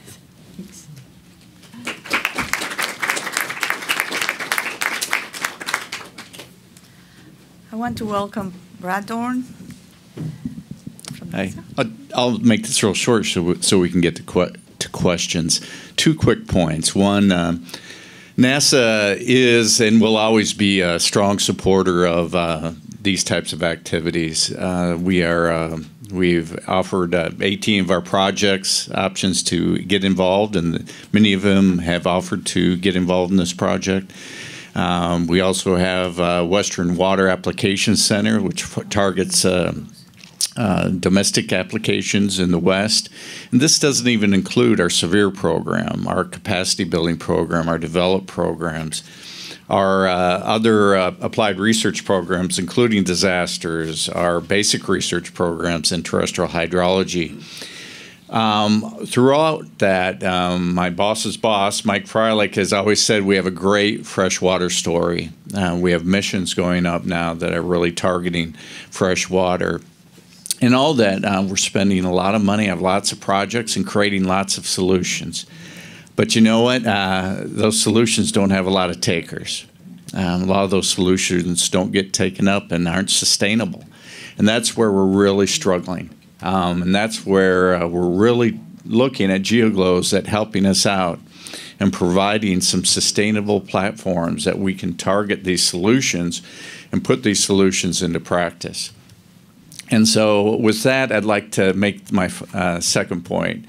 Uh, GeoGlows uh, is a, a wonderful concept and, uh, and solution. I'd like to commend uh, NOAA for their support of it and the International Steering Committee, who really stepped up. It's amazing what you guys have done since we started talking about this now a few years ago.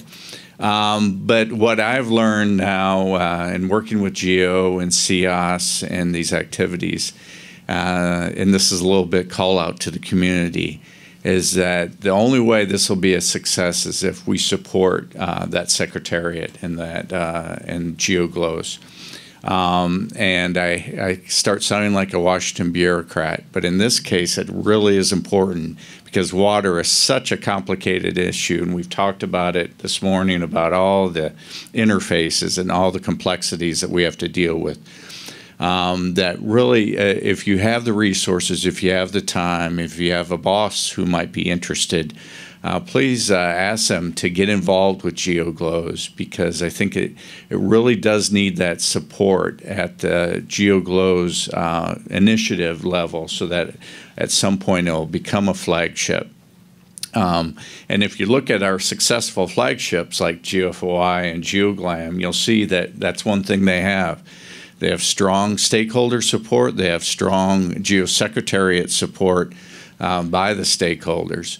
And so uh, please get involved, find out ways. It doesn't have to necessarily be money, it can be just time uh, and effort. And uh, certainly from NASA's point of view, uh, when we see GeoGlows, we see an opportunity for getting our observations, our science, our expertise into sustainable solutions. And so we'll be there to support it too. So with that, maybe I'll turn it back to you guys. Oh, oh I'm sorry. I didn't. Oh, no, no. So I just want to, and, and I just echo Brad's comments. I, I think they're spot on. So, um, but just Angelica, to answer your question before in terms of what the different entities are doing, one thing I, I forgot to mention for CEOS, and, and let my, my good colleague Ishida-san in the audience, is in response to the GEOS water strategy, the CEOS response, one thing that was undertaken was a, a, water quality imager feasibility study, which was led by Arnold Dekker, formerly CSIRO, who retired. Um, Arnold's also worked with the World Bank on some related issues, and so that study is complete. So as a, really as a pathfinder, hopefully for the future, in terms of addressing some of those observation gaps and information gaps in terms of you know what's of interest for geoglows, et cetera. Um, a recommendation also for Angelica and everyone is for the space agencies. So there is a lot of muscle there. There is potentially a lot of money there. Be very specific in the requests that you make of them. That's the strategy for the best success. Be very specific in terms of what you're asking of them, and I think that'll help you um, gain more traction with it. Thank you. Any questions from the audience? Yes. Thank you. Uh, my name is Omar Al Badawi. I'm from the Center for Environment and Development for the Arab region and Europe. Uh, uh, it's headquartered in Egypt. Uh, I'd like to thank all the uh, presenters uh, for the interesting uh, presentations and uh, the work done by uh, all of the organization, NASA, NOAA, and uh, but I, I, wonder if there is the, all of the work is concentrated on the surface water. Is there any work done for the groundwater? Uh, especially the non-renewable aquifers? So, on on our benefit, GeoGlows was launched last year. So we have had uh, less than 12 months of existence, and it is considered part of GeoGlows. So it, it is included in in our objectives. Um, anyone in the audience? Just to uh, add to that, uh, yeah, uh, definitely you know, surface water, groundwater, the water quality, a lot of water for environment, other things uh, would be uh, part of this uh, GeoGlows remit. what we have done is, at least as part of the spatial agent and data and some of the apps relating and ebooks, we've tried to integrate groundwater at least as far as Earth observation goes from using GRACE better or using also linking up better with IGRAC the, for uh, uh, trying to get a lot of the existing groundwater data sets uh, to try and liberate them and put them together, as well as some of the work going with, G with GEF on TWAP and so on to try and get all the hard work that's been done on those to be able to be better discovered, either in the form of data or in terms of some of the knowledge products. But there's still a long way to go for the invisible resource, as the IGRAC people call it. Yeah, um, the example I showed very quickly on uh, Morocco Tensift watershed is dealing with groundwater availability, uh, which is uh, used by pumping from agricultural manager at plot scale. And um, the combination, it's not only a space Earth observation point of view.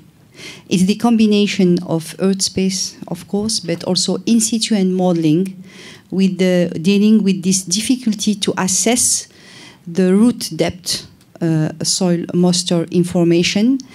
And the, um, this uh, pilot study uh, stressed, stressed the, the, the, following point that there is a clear need of uh, in situ measurement regarding the root uh, soil uh, depth. And enlarging this discussion to the one uh, Harsh uh, uh, highlighted uh, regarding the CalVal aspect or in situ measurement aspects, we have to keep in mind that uh, space measurement will not achieve not, uh, anything without having a sustainable in situ measurement uh, globally distributed in a, really uh, complementary way. Uh, and I think the GeoGlows program has to take this opportunity to coordinate, coordinate uh, in an international way the needed in situ measurement dealing with the water cycle or hydrology or water resource management aspect. Yes, we have some pilot projects dealing with the groundwater. Uh, we can we can discuss uh, later. And as Angelica uh, said, GeoGlows started the 12 years 12 months uh, ago. But uh, as organization gathering here, we are we are, we are working on this uh, aspect since several years. So we have to capitalize with GeoGlows What are the key uh, now uh, subject for the roadmap for the next couple of years? One last question, please. Yes. Eh, I'm Ελευθερία Πολιατζή and I represent Eurojo Surveys. Uh, I'm uh, chairman of uh, the expert group of forest observation and geohazards. And I would say, I would like to say on that that uh, yes, we have a lot of uh, measurements on hydrogeology. And also, we would like to say that uh, uh, we would like to have also the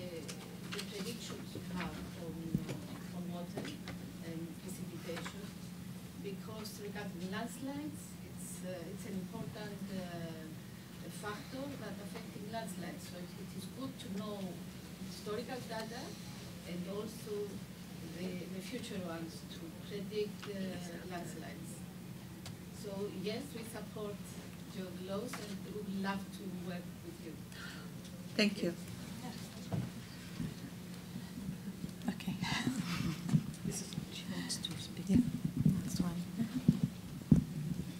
Um, I'm Marie Colton. I'm at um, Harris Corporation now, but I was 33 years in the government. My last assignment was uh, as NOAA's um, Great Lakes Research Director. So I've been thinking a lot lately about public-private partnerships in water, and uh, have been working, looking a lot at the World Bank um, issues. And so, the mission of the World Bank, you know. Um, reducing poverty, share prosperity. So I go back to this fellow who, from Nepal who was talking about the issues about floods and people dying, ten thousands and thousands of people displaced, people dying. The Brazil examples. So we have like real world problems right now, and so sometimes I, I, I, I think we're asking what some of the specific things could be done. So when we've been looking recently at some of the tenders being offered by uh, the World Bank for like Bangladesh, Sri Lanka, developing countries. And um, you, you're trying to modernize the hydromet services. And every one of these countries has the same kind of core set of problems uh, with lack of observational networks, um, not understanding what models are really available, which are the world's best, which ones uh, do people are vetted and they are appropriate to the task, what is the infrastructure. A lot of the countries do not have um, electricity, reliable electricity, or fiber. And when we talk about, oh, just send data around, it's not possible. Uh, educational and training is really an important problem. Most of the countries we're talking about do not have uh, trained meteorologists or hydrologists uh, at the PhD level. They have only a few of those, and most of them are sort of in country trained at a certain level. Um, and then you wanted to build an economy, so where is the private sector? And that doesn't mean just multinational corporations coming in and taking over, but it means how does a how does a multinational corporation come in and help a local economy build their own business? So that you have all that issue. I I see so many um, between WMO, WHO, um, World Bank trying to do these things, but um, and so many wonderful meetings like this where the talent is here. I think helping to just articulate what is the minimum basis for an observational network? What are the most vetted, the best vetted models? Who accepts them? Why are they accepted? Um, what is the necessary infrastructure? Um, we toss around the cloud a lot uh, in developed countries as though, hey, cloud's going to be the answer to big uh, processing. And that, that very well could be the, the answer to a lot of developing countries. But um, there's also sort of this national pride in wanting to be able to build their own system and train their own people. So there's that tension. Um, so, you know, conversation what is a sort of acceptable uh, within a country, and then recognizing the challenges. You can't just drop people into some of these countries. Their geopolitical challenges are really uh, difficult. So you just don't send your weather, your best weather people off wandering around putting in instruments. Um, so, uh, so my point: can these kinds of groups have a sort of an output action from their meetings? Some of these vetted, standardized. Um, uh, uh pieces of information so that it can be uh, you don't have to do this every time you go into a country and, and have to put out a three year study for what is actually needed because it's already done. Sorry, that was a little long, but. it's okay. So I'm going to address uh, several points that you made uh, in your remarks. The first one is the um, collaboration between private sector and government. So within GeoGlows, we have, unfortunately, she wasn't uh, here, but we have a working group who's looking exactly to developing, you know, guidelines for the steering committee on how we are going to engage with the private sector, because we do recognize that unless we have the private sector engage in GeoGlows, it's going to be very difficult for GeoGlows to move forward its agenda. Uh, the second one the fact that um, you know every country and every region has their own particularities. So that is uh, one of the things that we are doing from the global initiative, which is GeoGlows. And, and I will uh, talk a little bit later on in the day, uh, working with the regional initiatives. And those regional initiatives, you know, those are uh, efforts that have the national, the local flavor uh, that the decision makers in their countries, and geo member countries, and, and the region in general, those are the ones leading and guiding the activities. So that is one of the um, advantages that we have within GEO, that we can also not only leverage uh, global initiatives, but also regional initiatives. Okay, I want to thank uh, the panel, and we are going to move on to our next group. Thank you all.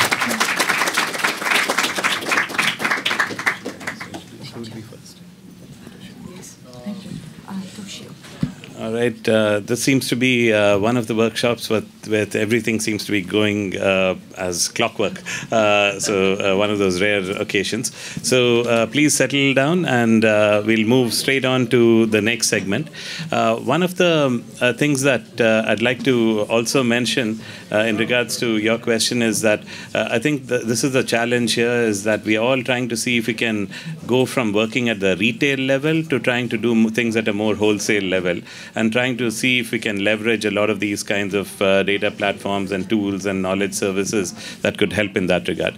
As part of this moving from retail to wholesale, there's a lot of activities ah, no, that's uh, that's uh, uh, happening on the spatial front where we are not necessarily going from uh, country level all the way to global, but there are many regional initiatives that are being undertaken. And in this regard, we'll uh, have three quick presentations. And in this, I'd like to invite uh, uh, Professor uh, Toshio Koike, who has been one of the stalwarts in terms of trying to promote a lot of Earth observation for water resources, to talk about GeoGlows and the AOGEOSS and DIAS. All right.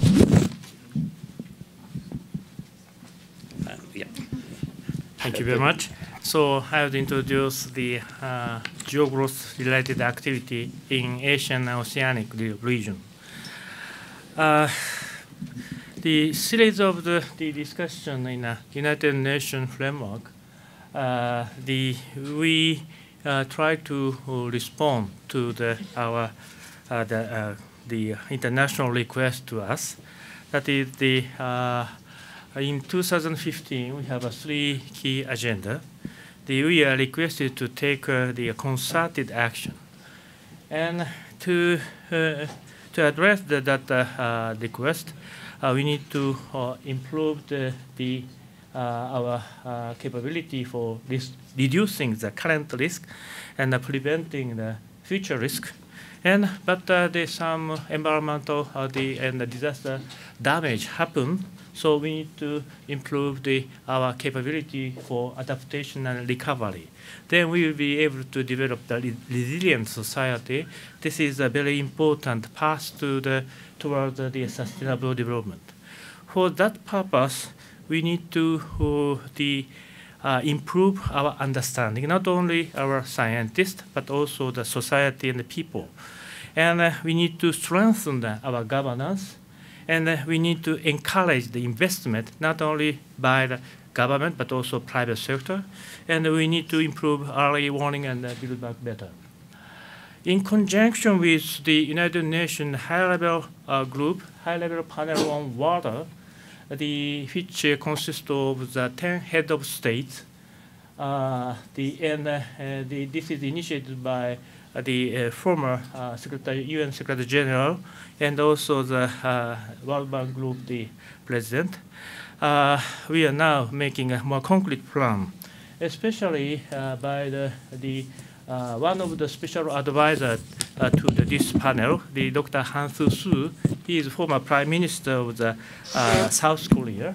He organized the high-level panel on high-level expert and leaders panel on water help And uh, we had a joint meeting, and uh, we uh, identify our uh, present status, and uh, we discuss about our key direction, and we uh, defined our action to be taken by each country. So each country is requested to develop a platform on war and disaster as a part of the national platform, and the UN partners uh, requested to assist that platform of each country, and the donors they, uh, requested to provide incremental support.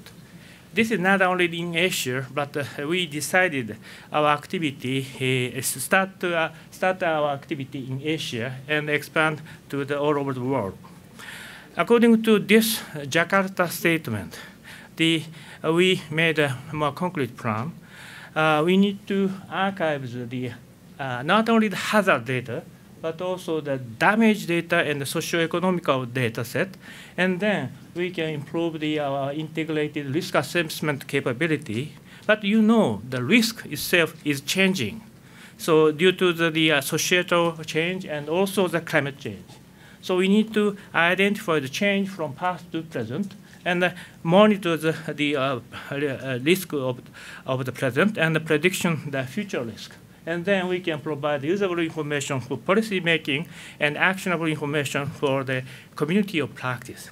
In this way, the data set archiving and the model development, and then create a societal benefit.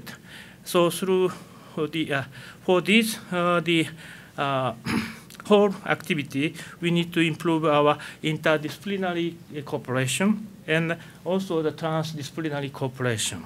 And we need to also develop the capacity, uh, not only the scientists, but also the practitioner and the policy makers. So we identify this is the platform on war and disaster, and uh, the, this should be supported by international cooperation.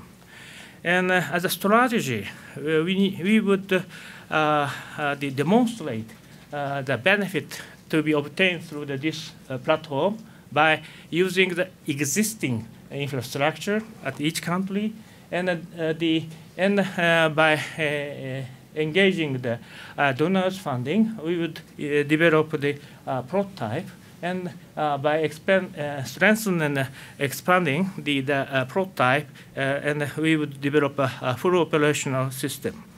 So the our international the and the UN agencies have a very good the uh, cooperation of each department agency of each country and uh, the in collaboration with this uh, framework.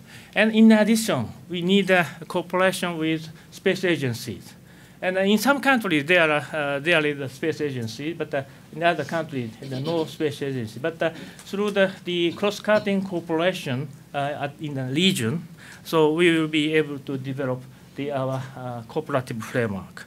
So based on the, this idea, we had a first meeting in January this year, and uh, the, uh, we uh, invited the various countries in Asia as a start, and uh, we identify our activity based on the discussion uh, in each country, in March or November or May. So we have a lot of the meeting in each country by inviting many stakeholders Uh, agencies, department representative, and uh, uh, universities. So this is the our action, and uh, uh actual activity has already gone in Sri Lanka and the Philippines. But time coming, so I would stop my talk here. Thank you. Thank you.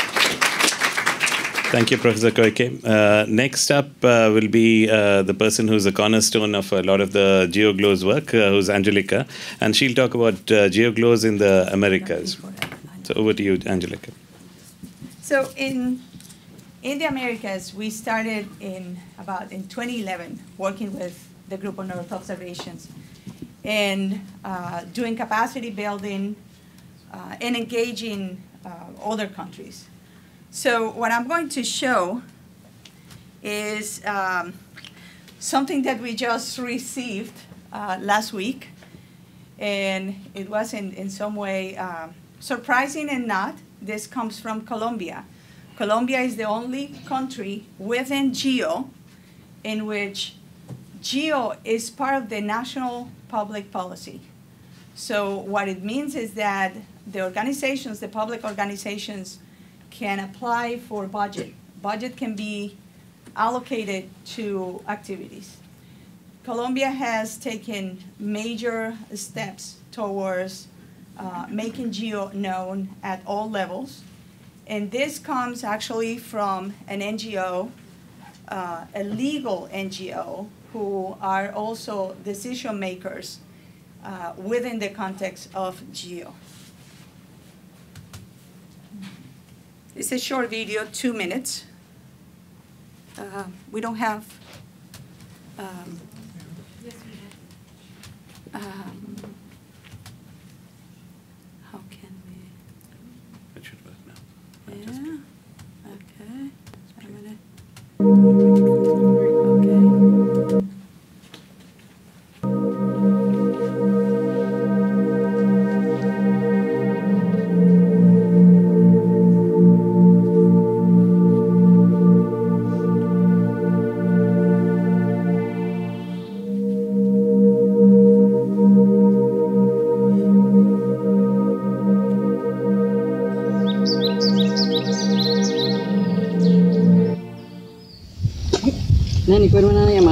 Moke y pareció allá y mm, Asociación de Autoridades Tradicionales, muy pitena Mercedes Rodríguez Gaitán. Buenos días, mi nombre es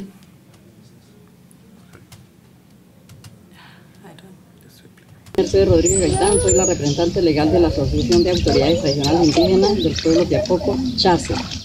Somos una comunidad de 1.200 indígenas mm, de las cuales 750 entre mujeres y niños. Queremos hacer un llamado al, al grupo de observaciones de la tierra, especialmente al grupo de agua, para que con sus con sus observaciones podamos guiar las decisiones en nuestro resguardo relacionado con el manejo de agua.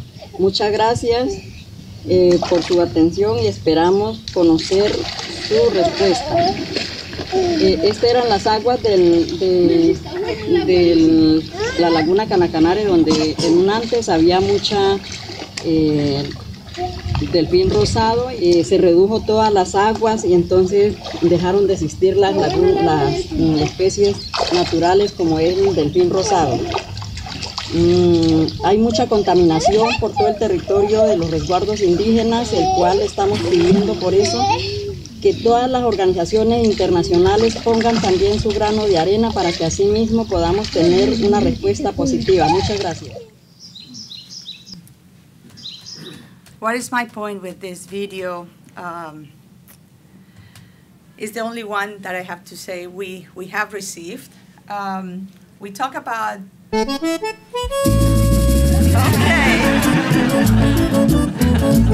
That's even better.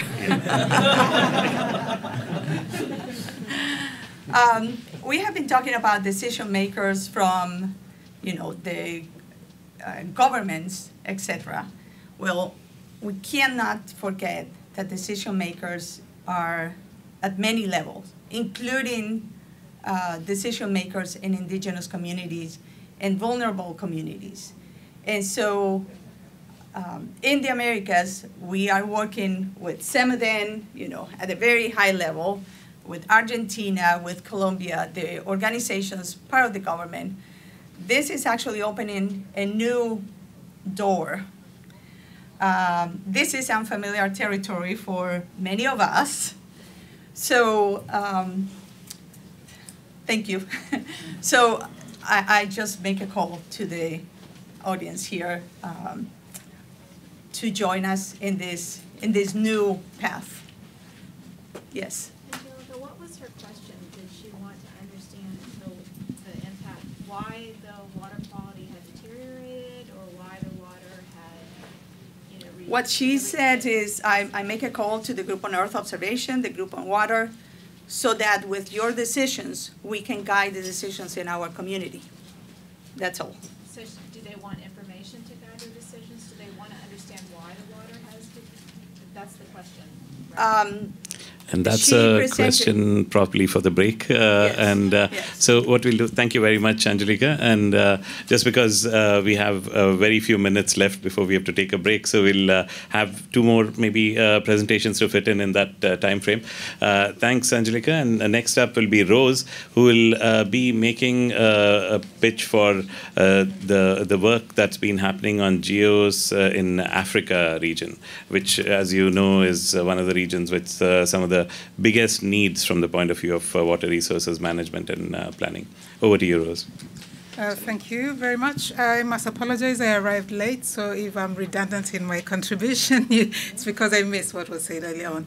I'm not going to present on the programs ongoing in Africa, but I'm going to rather focus on the challenges and opportunity areas for Earth observation tools uh, that could enhance uh, water governance and water security in the region. As you know, Africa has a lot of water resources, but the issue is the governance and the knowledge on how and what is available to improve the governance and uh, access and management of, of the water resource. Uh, so one of the things that have been identified with our AfriGEOSS program in Africa is uh, the need to do basin mapping and vulnerability assessments. Of course, these uh, aspects are going on piecemeal, uh, but in order for us to understand what levels of water availability uh, and quantities that are there for the different groups and different levels and different users, uh, we need to do this basin level mapping. And as you know, Africa is one of the regions that has a lot of basins, uh, river basins in particular, which are shared across the boundaries. And what is missing is a common legal framework. And although the, the governments agree on uh, an action plan, uh, it is uh, a, a problem sharing data across the borders because this legal common legal framework is not something easy to establish, as we all understand. Uh, but it is important that we use the geospatial tools, uh, using the Earth observation data, to establish these baselines uh, and, and, and be able to guide the data policies that could govern water governance in the region.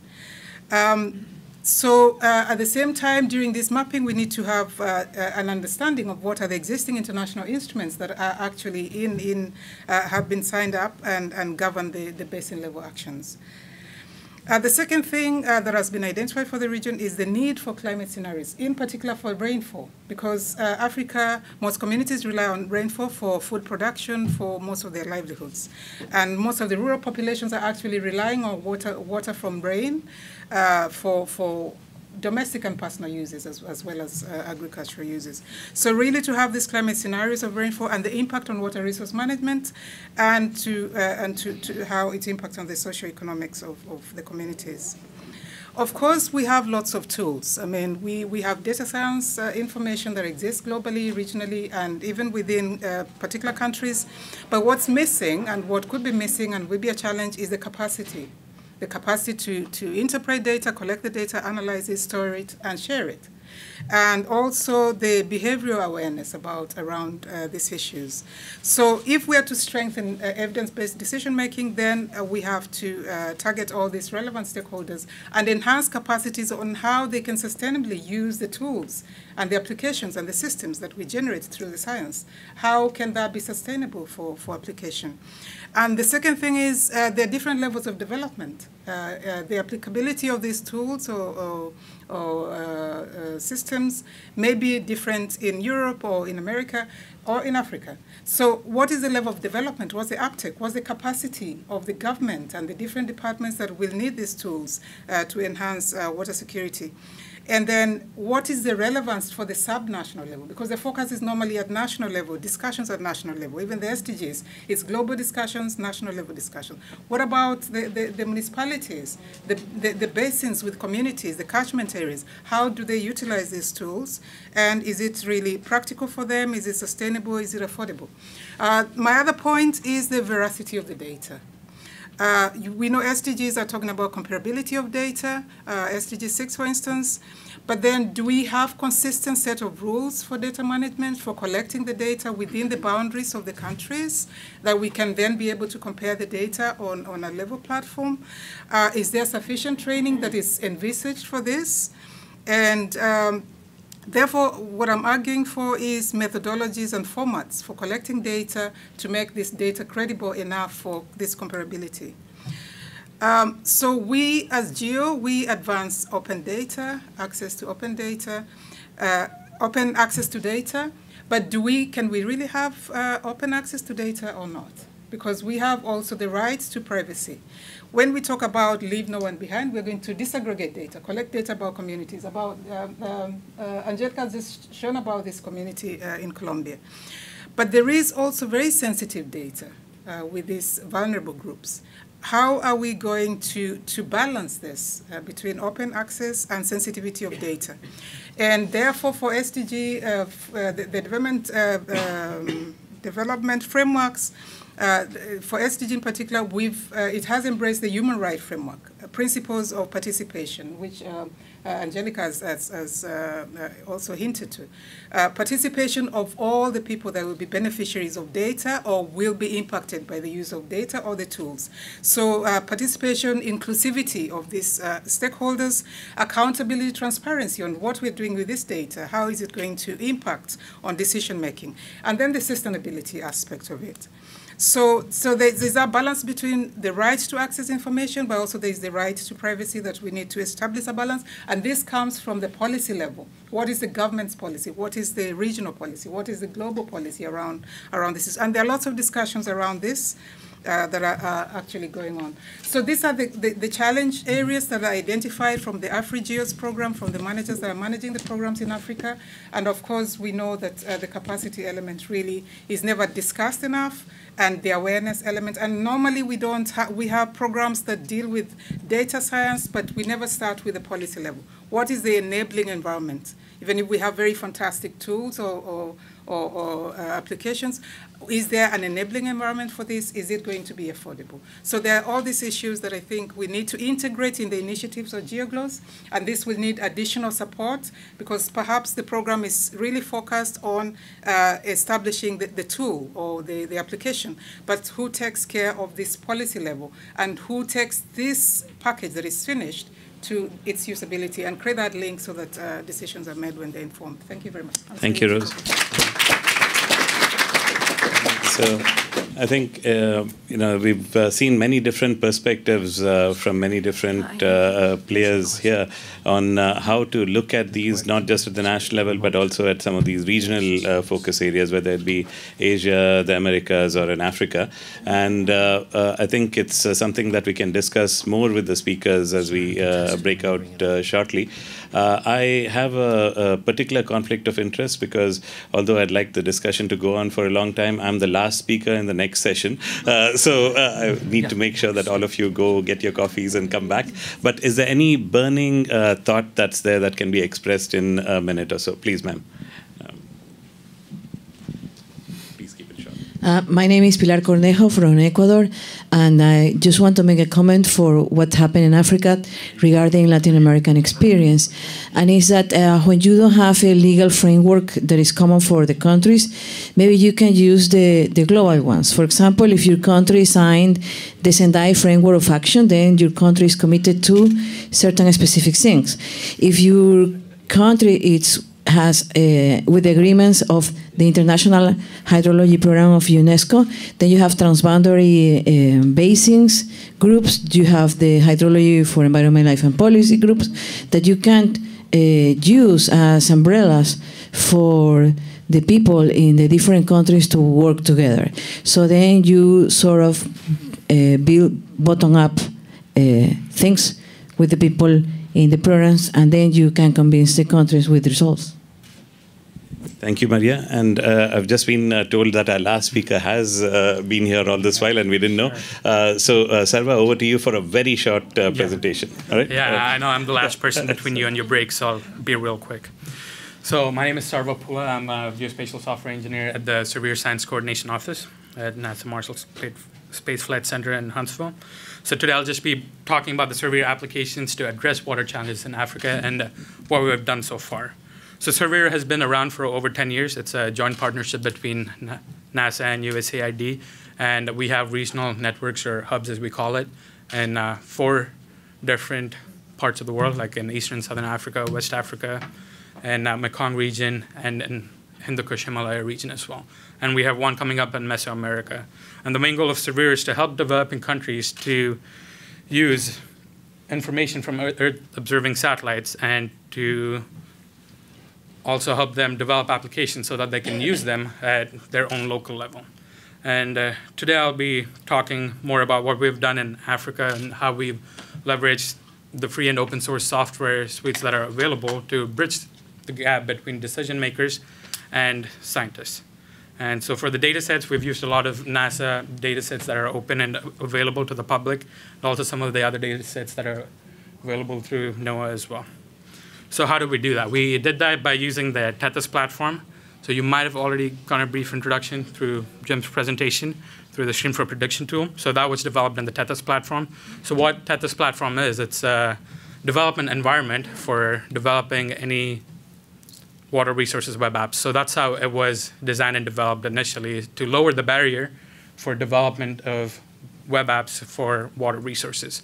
And uh, and what we've seen is that it has significantly lowered the barrier for development, so, so much so that even people like, for example, the National Water Institute, CUAHSI has Summer Institute, and they have students coming in and develop some apps or develop some workflows on how they can use the National Water Model.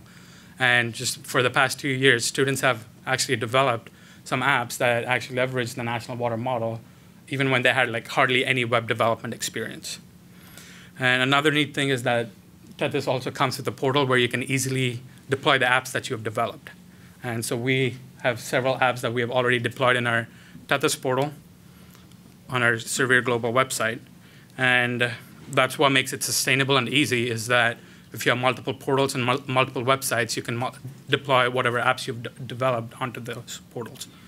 So here I'll just talk very briefly about three apps that we've developed, especially with Africa in mind is like the GRACE viewer. So the GRACE viewer, it's uh, taking the the GRACE data that is being put out by the GRACE satellites, and uh, we are able to visualize it and also subset it for a more regional scale. So here, it's an example of how we we've used a script that was developed at JPL with Dr. Cedric David, and we've we're able to subset it for Niger. So we can subset it for any region. And we also developed a few other apps kind of to leverage more tools that are being produced. So the viewer, it's a framework that was developed at JPL that couples a hydrologic model with a crop model called DSSAT, and it kind of allows you to run nowcast and forecast. So it's a database, and now we created a front end where you can see it. So again, bridging the gap between decision makers and scientists. So that's the RHEAS viewer for the DSSAT interface where you can view different crop yield and it's using the VIC model or for forcing. And finally, another app that we developed is the Furlough Ephemeral Water Body Monitoring Dashboard. So in, in West Africa, like pastoralists really rely heavily on uh, these furlough water bodies. And so we've used Google Earth Engine on the back end to map out these water bodies out in the desert. And we were able to just create a nice, simple interface. So just a quick roundup, if there's anything that you get out of this presentation is that we're able to like really quickly develop these applications and the turnaround time is like really short. Like for example, the last app that I showed, it took like two days to develop it. And all our code is available on GitHub at github.com slash servir. We're always open to collaboration and we're always open to feedback. And we just continue to build on the apps that we already have and continue supporting what we're doing. And eventually, we'd like to continue helping GeoGlows and also use GLOFAS and uh, implement that those workflows into a Tethys app. So that's what we plan on doing in the future, and you can find more information at our website. Thank you, Sarva. Um, I think. Uh, I think uh, I have a lot of questions and we'd like to follow up with you in the future, but now we need to uh, yeah. run to the coffee break. Uh, and uh, uh, for about uh, 10 minutes, please grab your coffee, wolf it down, or bring it in, and hopefully you can bring it in. And we'll start the next session. Thank you again, all, for coming, and thanks to, to the great panel that we've had. Hello. Hi, as you guys are coming in, I'd like to make a quick announcement. Um, and, and it surrounds, surrounds why I'm wearing black. And it's not a Johnny Cash uh, convention. But at one o'clock, we're uh, uh, doing a little bit of an awards announcement of our GEO award. We had a solicitation on GEO, uh, activities, and there's four projects on GeoGlows that we're awarding. So about $800,000 or so that'll be going to projects that'll support GeoGlows. That's at 1 o'clock. I know you guys are having a hard time getting lunch in there, but if you care to join us, we're, we're kind of doing a Oscar or Emmy style announcement. So, um, so I didn't have a tux, so I, I did the best I could. So thank you.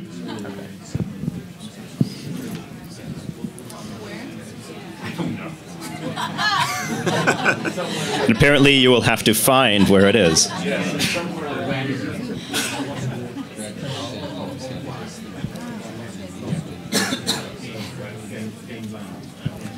Okay, in the interest of keeping us more or less on time, uh, I'd like to get us started. And you're not here to listen to me, so I'll give my introduction as the last few people filter in. I'm Derek Vollmer. I'm the Senior Director for Freshwater Science at Conservation International.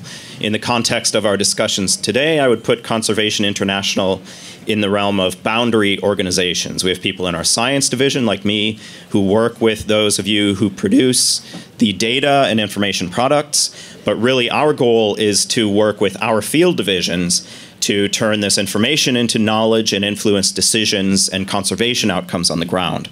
And so we're going to shift the discussion now a little bit from water as being sort of the, the object to water being the medium, and we're going to introduce some of the other water-related activities under GEO, and um, also talk about ecosystems and biodiversity. So going beyond just water as the commodity, but what are the other important links to water, and also what can these groups do in terms of being users of products from GeoGlows. So our first speaker is Adrian Strauch. I will uh, allow him to introduce himself a little bit further. We'll keep everyone on a tight timeline, and so I'm going to be sitting right next to the speakers, and we'll prod you and start to be really rude when you get over your seven minutes. So Adrian, floor is yours. Thanks. Do I need this one, or is this one? Yeah, that one should work. Okay, actually, yeah, turn it off. Okay, thank you. So um, yeah, actually this morning I already chaired the session, but I rem remembered that I forgot to introduce myself. So I'm I'm Adrian Strauch from the University of Bonn in Germany, and I'm also a co-lead of the new Geo Wetlands Initiative, which is actually has been founded at the same time as GeoGlows and it's kind of on the intersection between water and uh, ecosystems or biodiversity. So the focus is on wetland ecosystems, but of course it involves a lot of water information and water activities, and that's also the reason why we are part of this side event here. And so, yeah, here you can see the logos of the, the core partners of GeoWetlands at the moment, but we are also one goal, and also for for this event here is really to expand this a bit more, but I will talk a bit more about this. So, as an overview, the, the mission and the objectives of geo wetlands are basically to develop sustained global approaches to wetland inventory, mapping, monitoring, and assessment. And um, yeah, the objectives in a bit more detail are to develop a wetland observation system, a global wetland observation system, but which should also be able to go down to different um, scales, like the national level and also the local level on individual wetland sites. And this is, of course, a bit more on data and products, but then we also have the, the goal to establish a community, an active community. So the whole initiative is very community driven, actually, and also we need a governance structure to support the, the long term. Um, the long-term maintenance of geo-wetlands and everything we are doing. So this is a bit more on the users and also on management of the whole initiative to have an efficient management. And then the, the third objective is is to to build on existing efforts and not to start from scratch, but to really look at what's already there, who are the important stakeholders that we need to engage in geo-wetlands, and also what are existing projects or initiatives that should become either part of geo-wetlands or that we should closely cooperate with. So this is the focus on cooperation and stakeholders. So more, also more on the on policy aspects and um, and some of the more specific goals to to to fulfill these objectives are first to to build a geo wetlands community portal but then also to respond to evolving user needs and, and policy needs. So really work with the, the actual end users of what we are doing right from the start, and then to um, develop a strategy or strategies and try to find funding for for long-term uh, service provision. So to the geographical scale, so at the moment GeoWetlands is a bit focused on, on Europe and Africa. That is actually the reason for this is that some of the main projects supporting the establishment of GeoWetlands are European funding. So from ESA, for example, but also from the European Commission. There are big projects that allowed us to, to yeah, to, to launch GeoWetlands, but our goal is really to expand this and to um, yeah, involve others. I mean, like we already started some discussions, and I hope we can continue this year with uh, NASA, USGS, and others. And I mean, the, the close connection to GeoGlows will hopefully also help to to broaden this scale and to finally reach our final goal of global coverage and also of a global community working on wetlands. Um, yeah, and just as a summary, some of the main achievements. I mean, one achievement is already that we were able to, to launch GeoWetlands or to form GeoWetlands in 2016, but some some more specific uh, achievements are on the one hand, we, we already have a, a pilot of a portal, a community, a GeoWetlands community portal, which has been developed by the SWOS project, but which hopefully will continue being developed even after the end of the project and become a core component of GeoWetlands. Then um, there have, are several uh, mapping tools, toolboxes that are developed currently by different projects, which are part of GeoWetlands and will hopefully then also be maintained after these projects and be um, yeah, evolved by uh, contributions from new projects and other partners in the future. And then also one achievement I think is that we already have a quite big uh, user community through these different projects that contribute to GeoWetlands, but also through the involvement of, of core stakeholders like the Ramsar Convention, and we are now in discussions with UN Environment regarding the SDG 6. And so there is quite a big uh, community interested in GeoWetlands, and I think now we have to make good use of this and try to, to develop strategies that can maintain this effort in the future. So um, some of the planned deliverables are an operational community portal based on the pilot we have right now. So to really evolve this and keep it, maintain it. And um, we are working on global products, on mangroves, for example, which is already a bit further advanced than for some other wetland types. But the goal is really to, to provide global products in the future. And um, yeah, we are working on best practice guidelines on the Earth observation of wetlands together with Ramsar and also in the context of the SDG 6.6 now. And um, yeah, more general plans are to establish a, a website um, as a community and information hub. So the GeoWetlands website, which at the moment is in a rather um, preliminary stage, will be improved in the near future. So we are working on a concept to really develop this into a, into a hub for the wetlands community and with a focus on Earth observation of wetlands. And yeah, we continue collaboration with the important uh, global stakeholders and to yeah, finish this. So our connections to other geo initiatives, of course, as I said, we are in the interface between ecosystems, biodiversity, and water. So our closest partners in geo are probably GeoBON with its freshwater BON and marine BON, but also GeoGlows, of course. That's why we are here today. And beyond this, I think there are also a lot of other, at least theoretical links to other geo initiatives which haven't really been looked into in detail for now. But I mean, wetlands are very important for with regards to energy production, hydropower, then also for food production, etc. So there are lots of of links that we should at least look into and have on the, our minds. And yeah, with regard to the SDG, of course, SDG 6 is our focus, and the indicator 661, which is called Change in Extent of Water-Related Ecosystems Over Time, is of course one of our core goals to really provide methodologies, tools, and capacity building, and also coordination for really allowing the use of Earth observation products and data for for supporting the monitoring of this um, indicator. And some of the challenges I see, I mean, what we already mentioned today. So I think it's very important that we develop efficient communication and cooperation between the different geo initiatives. That's also one of the core objectives of this meeting here today. So I think it's very important that we continue this and really look into how the geo initiatives can work together to support the SDG process and also other ongoing global international processes. And one of our main challenges at the moment is to look into the securing long-term funding for geo-wetlands because, as I said, it's mainly project-driven at the moment, but several of these projects are going to end next year, so we really have to look into strategies for maintaining what we developed already and move from a development stage into a more operational um, implementation phase with a long-term perspective. So that's it thank you. And if you have more questions, just ask me. Maybe. And we also have a poster here at the European Commission panel, so there you can get more information if you want. Okay, thank you, Adrian. Um, if you have questions for the individual speakers, I'd encourage you to find them during lunch or as we transition to the World Cafe. We will have some time at the end of this session for a more general discussion, uh, but we don't want to eat into that time with questions for the individuals just yet. So next I'd like to invite Alan Belward to come up and talk about the Global Surface Water Explorer. Okay. Looks like you are. Thank you. That's me. All right, great. yeah. So this is a project that we've been running for about four years. Um, three of us from the Joint Research Centre and Noel Gorelick from Google. Um, the name says it all really. It's about to explore surface water on the global scale. Um, the mission objectives and goal is rather simple. It's to document every pixel globally and look at the transition from land to water month by month, year by year, using the whole of the Landsat archive going back to 1984. So we, we don't use Landsat 4 at the moment, but we do use all of Landsat 5, all of Landsat 7, and all of Landsat 8.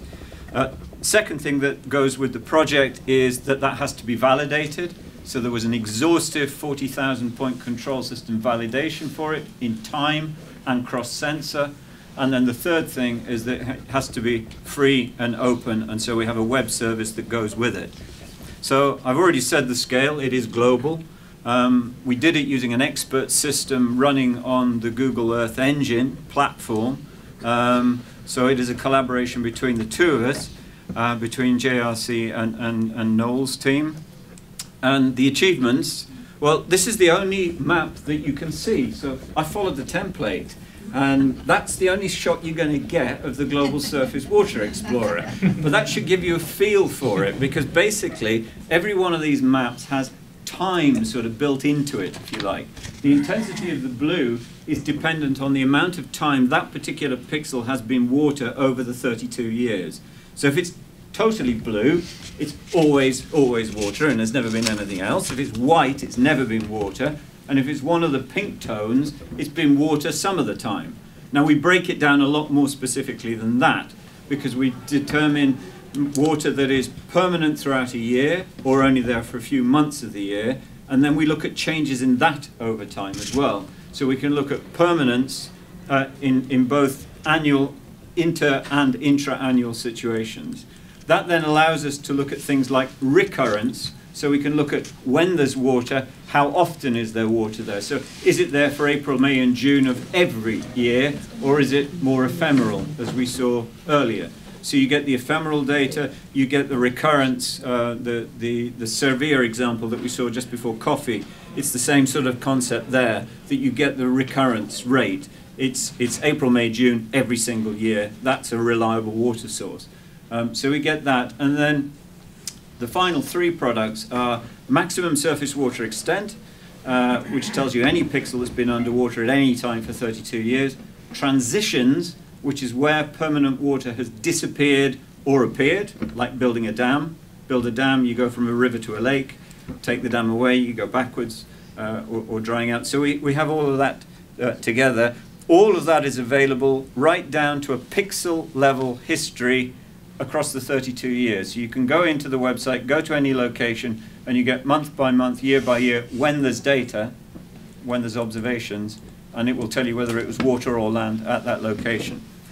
Looking to the future, we just finished packaging uh, the 32-year annual permanent water record by country for UN Environment for a consideration as 6.6.1 reporting. It's part of that. We're interested in coastal movement because we do coastal and inland waters. Um, and we're looking at also differentiating between natural and artificial.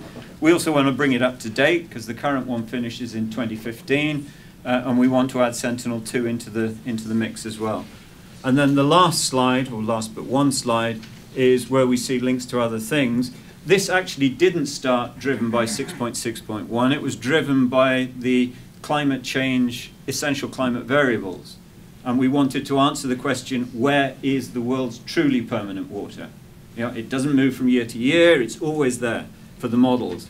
And so that was the first starting point. Can we identify the always, always water? And the answer is yes, we can, and it's 87% of the permanent water in the world. We've got 184,000 square kilometers of new lakes appeared in the last 30 years, and we've got about 90,000 square kilometers of lakes that have completely disappeared over the last 30 years, and the rest hasn't changed. And we've now got all that, all that documented.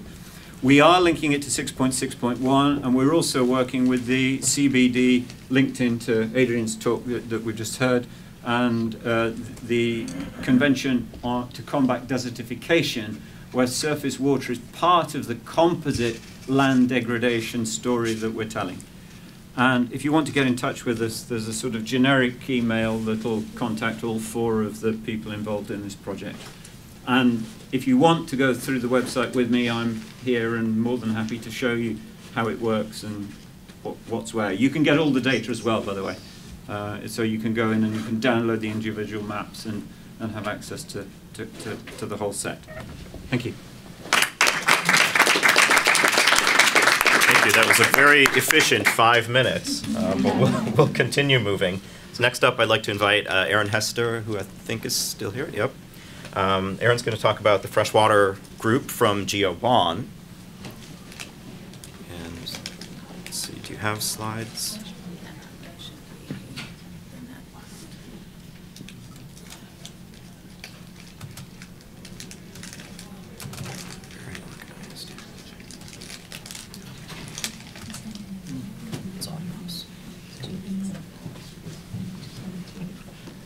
Okay, thank you. So um, I'm here uh, presenting on behalf of the chairs of the Freshwater BON, none of whom unfortunately could make it today. So uh, I'm happy to uh, inform you that the Freshwater BON was recently recognized as a thematic BON uh, just this past June. It is a voluntary community of practice that promotes the establishment of best practices for tracking glo global biodiversity change in inland waters. Freshwater ecosystems uh, underpin uh, much of the biodiversity in the world, and they are some of the most endangered ecosystems in the world. Much as many of you have highlighted water as being a cross-linking uh, item across many different SDGs and across many benefit areas, I would argue that healthy water ecosystems are a really important component of our water planning and management globally. Um, so what we're hoping to get to by 2020 is to create a global network of experts and practitioners that can make these global assessments for the status and trends of freshwater biodiversity so that we can hit those 2020 targets for the Convention on Biodiversity. And I think that there is real urgency in the freshwater space because of the rapid losses in uh, biodiversity that we're currently seeing.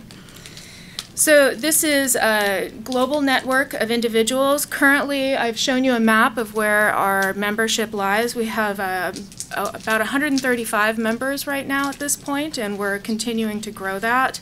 And we're really, again, working on promoting best practices to improve the harmonization of data collection globally, to develop data standards and methods for data management and dissemination, facilitate data sharing, integrate the biodiversity information with other physical and chemical data that describe the habitats that these organisms live in, and produce products that, again, are really useful for water managers and decision makers. So our planned activities, we don't have uh, that many outcomes yet since we're relatively new. Um, but again, what we're really focusing on again is harmonizing those tools to make sure that we have uh, globally consistent assessments that are done with standard protocols. And we're really interested in helping mobilize the freshwater biodiversity data and get it into the hands of GeoGlows so that you can use that information in water planning. We're also supporting IC, uh, IUCN's Red List of Ecosystems team. Uh, in particular, we're working on uh, supporting the global classification of freshwater ecosystems. And we're interested in supporting uh, monitoring programs and helping members publish their work and get funding for projects that do support those biodiversity assessments. Um, we support other geo groups, uh, and we hope to be uh, more supportive supportive of GeoGlows and get you the information you need to ensure that you're balancing ecosystem needs with other water delivery. And uh, additionally, additionally, working with GeoWetlands, uh, AquaWatch, and some of the other BONs to make this happen.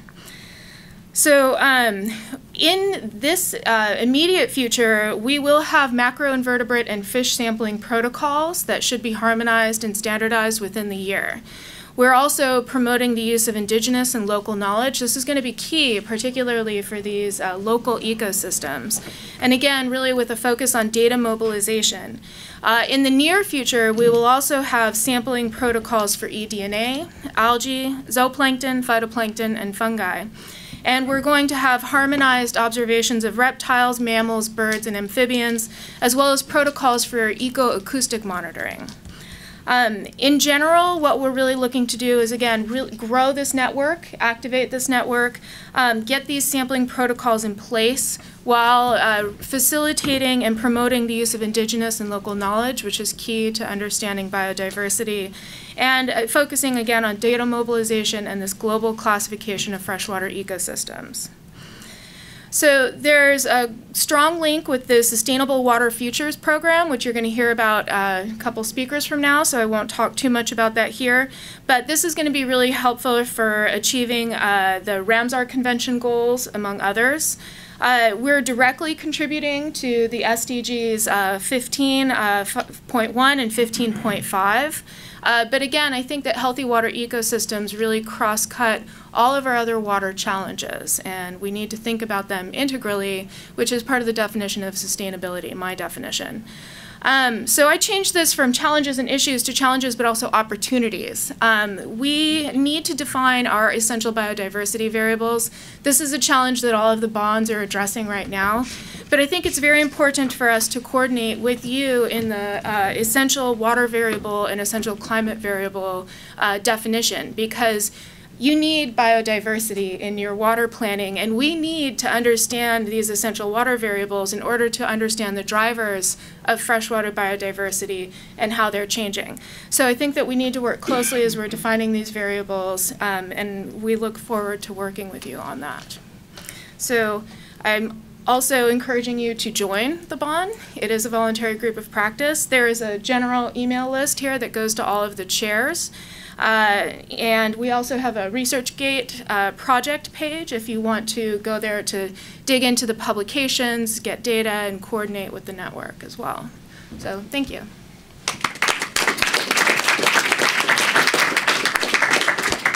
Thank you, Erin. She's already teed up some good uh, ideas on synergies among the different geo groups, and that's something we hope to discuss uh, after we've gotten through our speakers here. Next up, I would like to invite uh, Michelle Thieme from the World Wildlife Fund to talk about her Free Flowing Rivers program. You've got slides, right? Yes. Okay.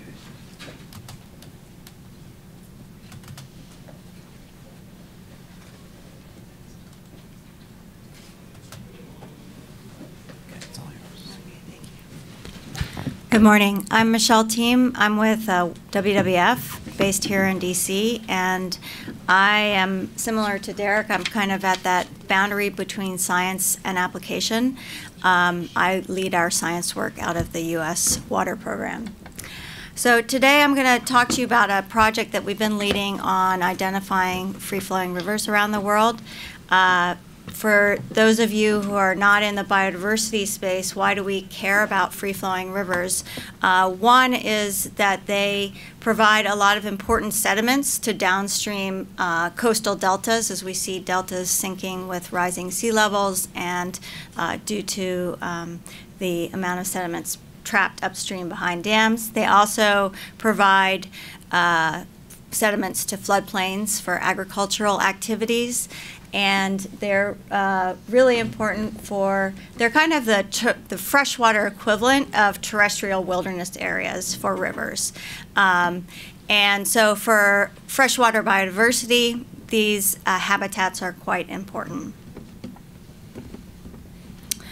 we also know that uh, rivers around the world are changing in terms of their connectivity. We're in the midst of a global hydropower boom. This is being driven by important reasons in terms of climate change and greenhouse gas emissions, trying to reduce those, but it's also causing problems for our river ecosystems and the freshwater biodiversity that live within them.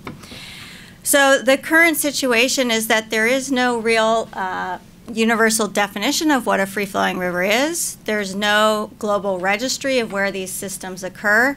And that creates a situation where uh, we are uh, limiting the awareness and the motivation to keep these systems in place or to restore them where they're critically needed. And so what we undertook, decided to undertake was a global assessment of free-flowing rivers. And it's not only the assessment that it's important, it's also the methodology that is uh, developed as part of this that can be applied at multiple scales because as many of you know, global data sets are limited. So with global data, we're only able to do this type of assessment to a certain extent. And then with that in mind, uh, global inventory will identify those long free-flowing rivers that remain. The research team was multi-organizational, included uh, representatives of CI and Nature Conservancy, as well as a host of universities. The main uh, university involved was McGill University, who had a postdoc on this full-time for several years. I don't have a lot of time to go into this in detail, but just quickly to walk you through the methods. Once we came up with an agreed upon definition, we then looked at identifying global data sets for pressure variables that affect the free flowing nature of rivers, so things like infrastructure and floodplains, dams, and so on. And then we uh, came up with several weighting methodology or several ways of weighting those different uh, pressure variables uh, seven different scenarios and benchmarked those against known free flowing rivers, chose the best weighting scenario, and applied that to every river reach globally 12 million river reaches in the HydroSHEDS database. And then from that, uh, we said whether or not each of those river reaches was above the threshold for free flowing and then looked at those only those stretches that went from source to outlet and outlet is defined here either as the next largest biggest river or the ocean and those that were were considered free flowing the others might have been a stretch that was above the uh, threshold or not free flowing at all and this is a graphic that describes that in more detail, showing you what, how we define a river. Um, the BBs are backbone rivers are each numbered in the scenario A. Then the application of this connectivity status index to each of those stretches of river. And then those rivers, based on that connectivity status index that from source to outlet reached the threshold were then identified as free flowing. So for example, BB4 in scenario C here. This is the picture of the results globally for each of those river reaches showing their connectivity status index. And you can see uh, how it varies across the world with um, a lot of impacts in the north and less so in the tropics and in the Arctic. And here are the results for global uh, river status in terms of free flowing or not. The dark blue are the remaining free flowing rivers globally. So, a couple of messages about the results. One is that we're losing the world's largest free flowing rivers. This is not surprising. Uh, previous studies have indicated we are going in this direction. And only a handful of those that remain free flowing still reach the sea. The tropics and the Arctic are really the final frontiers for where these remain. And that in other places in the world, dam removal presents an opportunity for us to reconnect rivers, especially where there are dams that are no longer serving their original function. And we see these results being applicable for multiple uses. One is, first off, just raising awareness of the loss of this critical natural infrastructure for freshwater systems. The second is around incorporating some of the connectivity metrics, the river connectivity metrics that we've developed into planning at the system scale for hydropower and other infrastructure. And the third is taking this global methodology and downscaling it in particular river basins for use in um, informing both protection, restoration, and some of this basin scale planning efforts. And with that, I will end and thank you. My email's here if you have any questions. Okay, thank you, Michelle. next up, we're going to have uh, is Paul DiGiacomo here. He's still here. All right. Uh, talking about the Future Earth Lagoon Workshop. Do you have slides this time? Nope. You don't. All right. No slides. Seven minutes, no slides. Can we put this down there? You can put that down. Screw up anything. Okay. Um, so good morning, all. So I'm here speaking on behalf of Future Earth and Future Earth Coasts. Um, Future Earth is um, focuses research for global sustainability. Future Earth Coasts, for those of you who haven't been tracking, there's a lot of acronyms and organizations to follow. But Future Earth Coasts is what used to be Land LOICZ, the Land Ocean Interactions in the Coastal Zone program. So UNEP uh, IGBP activity. It's now called Future Earth Coasts. And one thing that they did in conjunction with uh, ESA, the European Space Agency, is to realize that there's a lot of activities underway these days. But one uh, area and region really still not getting a lot of attention is that of, uh, of coastal lagoons. And in that sense, our, our tagline going forward is Lagoons for Life. And um, I think most of us are aware, but lagoons are hotspots of human settlements and activities influenced by both land input, nutrients, runoff, river management activities, and likewise interaction with the sea, tides and pollution, erosion, storm surges, and sea level change. And as a result, these are very dynamic regions, and also they're very sensitive to environmental and climate change. Um, but that said, our knowledge of how these regions work is, is generally speaking very limited. So in this context, and I'll give you the bottom line up front, but then go back to some of the details, but I think that there's an opportunity and a need, and again, where it fits in terms of priorities, is to establish a global lagoon monitoring service. And I see this as an activity being done in concert with a lot of the geo organizations we've heard of this earlier this morning. Some we'll hear of later tomorrow. Um, but in terms of GeoGlows on the land side, of course, uh, geo wetlands that Adrian spoke of, uh, AquaWatch that I mentioned this morning, and I'll be speaking of tomorrow for water quality, and then also the Geo Blue Planet initiative, which I'm not sure has really come up today, but I'll be speaking on that tomorrow as well. And Geo Blue Planet is under the, um, coordinating the coast and ocean activities for Geo, so it's a, a Geo initiative. So, in that context, I, I, think that there's an opportunity to really cross-cutting these different geo activities and geo initiatives um, to focus on um, coastal lagoon regions. So, toward this end, um, the European Space Agency, in concert with um, uh, Future Earth Coast held a workshop last September, understanding the effect of environmental climate change on coastal lagoon management, potential and challenges for Earth observation. Again, with a very strong focus on Earth observations. I was there, Rick was there, I don't think anyone else was here, and a lot of other folks that are well known to our respective geo communities.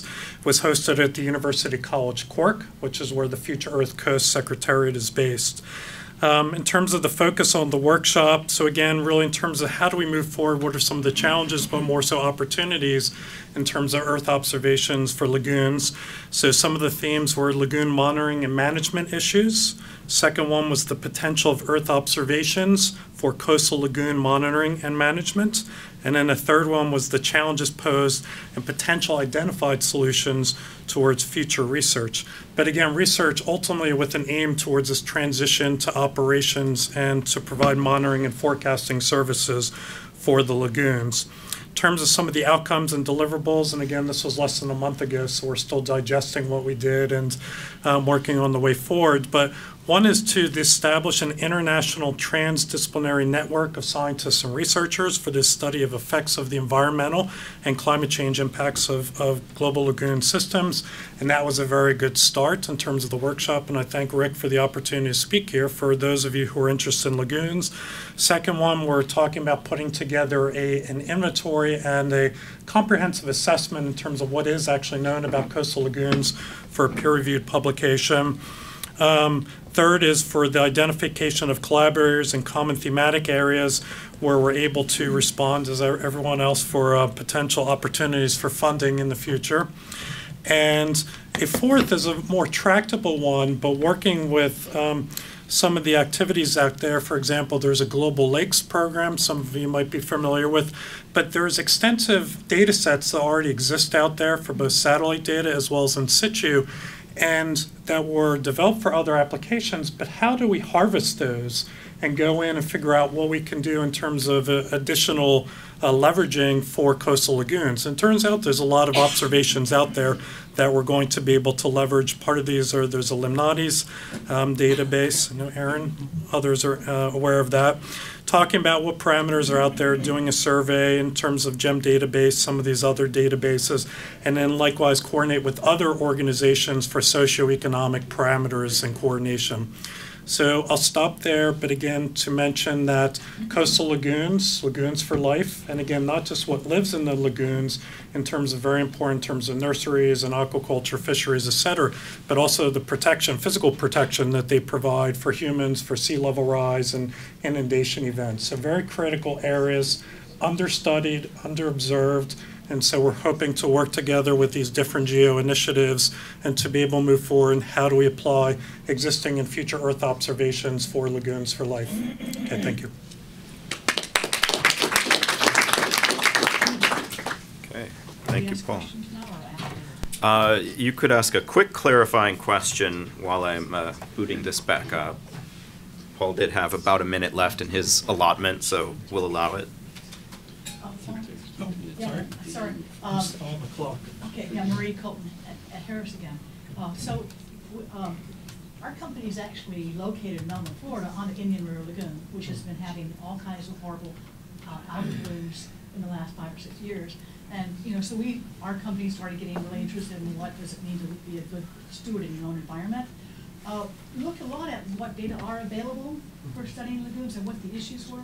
And even the fact that within one lagoon, you have basically five independent ecosystems because it goes from salt to brackish Right. to fresh. And um, so the thinking was that technology, uh, like a space-based tech- technology, may be really problematic for looking at those dynamics. So where do you stand on the use of like drones, hyperspectral sensors, autonomous sensors, uh, really coming into the hyper world? Short answer is yes.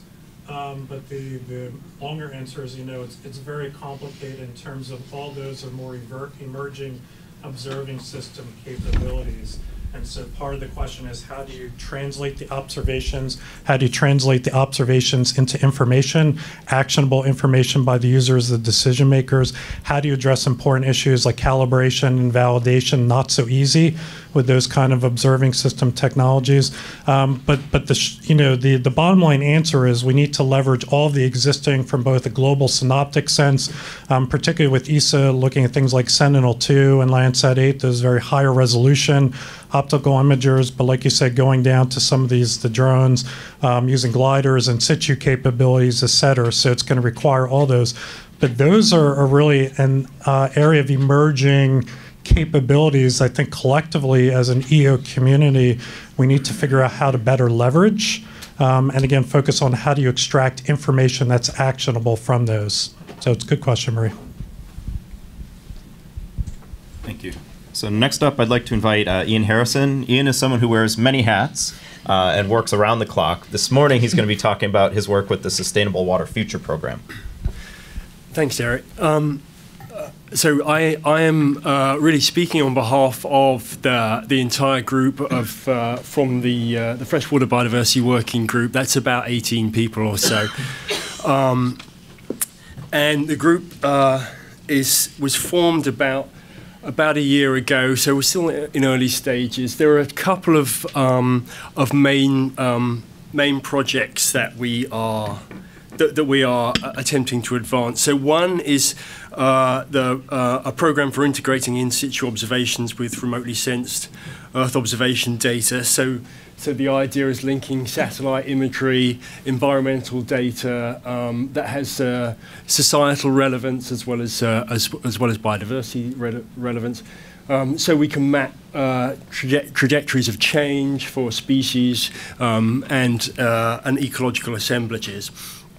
And um, so it's this is this is kind of part conceptual at the moment. Uh, the, the, there is a sort of a, a, backbone of information which is which is already in um, the uh, supplied in the Hydro Atlas um, program based out of McGill, uh, and we'll be we'll be drawing on that quite extensively. Um, particularly the GIS variables that are in there. Uh, that are that are there are there are a great number of variables in there already. Many more that are that are being added in in the next six months or so. Um, uh, a, uh, an updated version of that should be made public. Um, but then including other biodiversity data, there's a large amount of species information data from the Freshwater Information Platform, which was developed through the Biofresh um, project, the EU-funded Bio, Biofresh project. Um, and a lot of species information data from the IUCN Red List, and of course the, the, the kinds of information that would be coming in from the, the, the freshwater BON activities um, will, will also be very important for, for this um, and then bringing in uh, other other remotely sensed variables which um, uh, which are available that can be can be integrated with these core biodiversity data sets. Um, then the second program that that we are developing is um, an assessment of flow alteration uh, and how this affects threatened species. So um, we're looking at the, uh, the, the, the global um, the the, the spatial distribution of, of flow alteration um, and how that that relates to species richness. Uh, we'll be using particular regional case studies to uh, to to sort of dig into that into some more detail to identify any of the relationships that, that might exist between flow alteration and, and species vulnerability. Um, and as I say, developing case studies. And so this is something which would clearly link closely to the, the WWF um, Free Flowing Rivers project and the kind of data that's coming out of that. Uh, the methodology for that is really based on the, the, the assumption that, that, that, uh, that species do show this, this um, uh, adaptability to different, um, uh, different conditions of flow. Um, and that can be quite complex.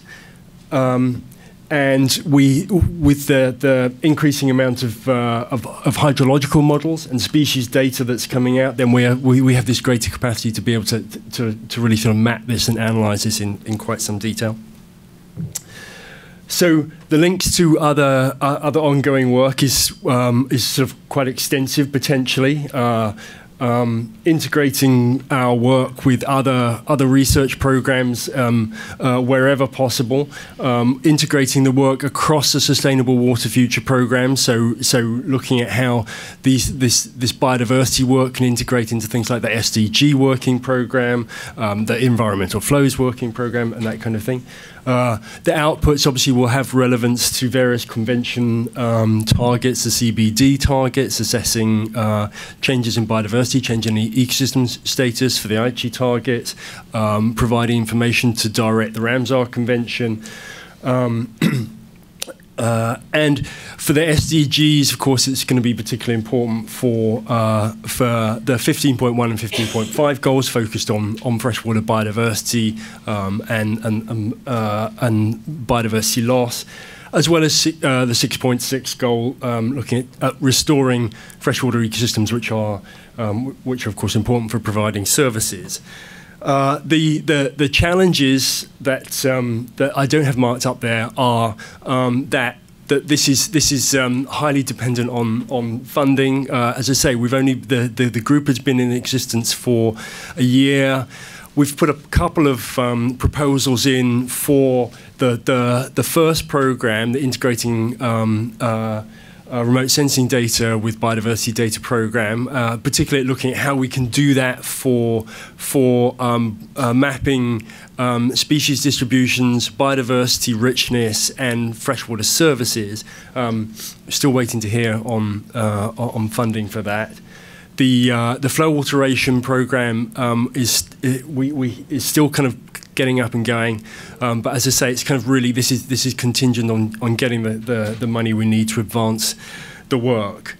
Um, and hopefully that will uh, that, that will that will pick up in the coming year. Now that we've had this kind of first year of really of, of SWFP, the Sustainable Water Future Program, just getting off the ground. Um, so uh, you can find more information about SWFP generally on, on the web if you just do a, a search for, for Sustainable Water Future Program. Um, I'm happy to uh, to respond to any questions you have. That's that's my email there. Thank you very much. Thank you, Ian. Next up, I'd like to invite Ian Jarvis to uh, introduce or talk about GeoGlam.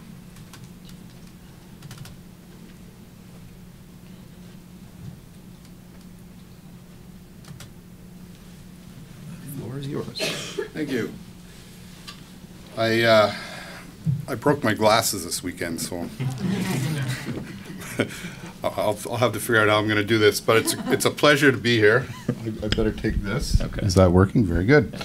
Um, okay, so uh, it's a pleasure to be here today. Um, I think we've seen from the presentations earlier today all the cross linkages between agriculture and water, water, food, energy nexus. It, it's clear that um, while we're not an integral part of your community, we're definitely well connected or should be. Um, as far as the mission, uh, we started off uh, in 2011 under France leadership in the G20 with a, uh, very strong policy mandate uh, around uh, improved information on agricultural production to reduce the volatility of commodity markets and support early warning is, uh, is something that we've added since then. The objectives are really to strengthen the international community's capacity to produce, disseminate relevant, timely, and accurate information. It's a very broad uh, community. It's an open community. It came out of the community of practice within GEO for agriculture.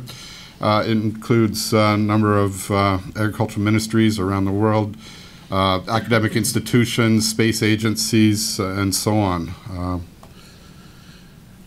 I'm not going to talk too much about methodology, but just to say that we bring together uh, the best available uh, science-based information with um, uh, from Earth observation satellites with human uh, intelligence and expertise on the ground to produce monthly uh, assessments of agricultural uh, production. The project governance structure, we, as I said, we were, a community of practice. Uh, it's been fairly ad hoc actually up to now. Uh, and, but we're now seeing the demands of our user communities increasing to the point where we really find ourselves having to tighten up that, that uh, governance a bit. And it's going to become a little more formal, not because we like the bureaucracy, but because we feel it's needed to, to um, really address all the challenges we see before us.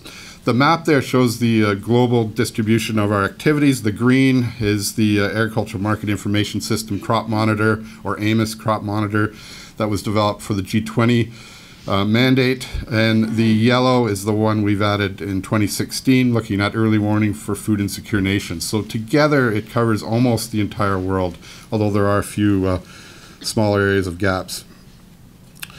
Now, as far as achievements, there, there's many. As I said, it's a very broad community, but uh, I just wanted to focus on a, a, few, and I'll probably get in trouble by not listing some, but uh, certainly the, the two crop monitors, the early warning crop monitor and the AMIS crop monitor, are two of our flagship acti activities that I need to bring forward when we talk about uh, significant achievements. And these, these are truly operational, they're monthly, they're providing uh, information uh, for markets, information for food security agencies that uh, is, I think is quite uh, universally seen as very valuable. Also bring up the Joint Experiments for Crop Assessment and Monitoring. This has created a research, a global research platform that has uh, attracted and supported a lot of research funding from Europe and others. Uh, right now we're focusing on SAR with Canadian funding and so on, but it's, um, it's uh, truly uh, been a successful um, community that's brought, been brought together around the research. And we really are focused on the research to development to operational domain here. So you can't really have operational systems without strong research uh, underlying it. And finally, I want to highlight the Asian rice activity, which has been quite successful at monitoring uh, rice uh, production in, in Asia. As far as um, the agenda going forward, uh, some of the deliverables we're going to be starting to work on um, we just finished our first five years. We're now looking forward to the next five years, and we, are kind of changing up a bit. Um, we're we're looking towards establishing more quantitative metrics. As I said right now, uh, we bring the science-based information, but we also bring the human intelligence to create qualitative assessments largely. We're now trying to become more qualitative. And this is uh, allowing us to move beyond current uh, state monitoring to look at within season forecasts, but also uh, between season over time our, our users really want us to get a handle on what's happening in terms of climate change to agricultural production. So for that, we need quantitative measures over longer time periods than we uh, initially developed, as well as the type of information that's going to be required for the Sustainable Development Goals. We want to strengthen our transition from research to operations. We really want to accelerate the movement of our research activities through the operational application. Um, represent the observation needs of the community of practice and CEOS. We're re- after our, our, first five years, we're now revisiting our user requirements with CEOS next year, and uh, yep, and we'll uh, we'll be uh, refining those and retuning them for the for the future.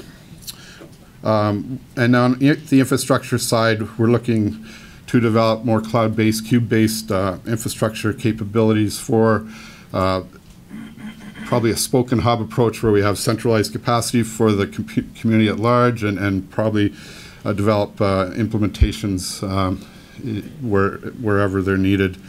Uh, provide uh, and also develop knowledge management systems to uh, manage all the productivity, the research productivity that we're creating. And probably the most important slide um, are links to other SBAs or initiatives. And it's across the board. I've just highlighted a couple here, and these actually speak to Selma's presentation earlier. Uh, things like uh, looking at uh, surface soil moisture, evapotranspiration, stress indices, these sort of things are things that we want to pursue. But as, as I've said already, you know, water quality and quantity, it cuts across the board. Um, the, the linkages between our communities.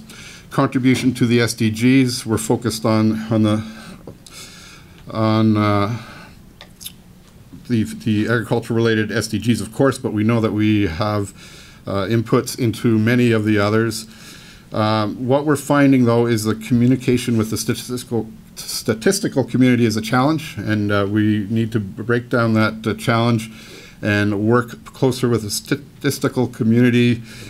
I should be able to pronounce it first, and uh, in order to to uh, really bridge the gap between those two communities, because uh, they're really the ones that are responsible for the SDGs, and we want to be there helping them all the way. And I think this is something that's common for many uh, many of us.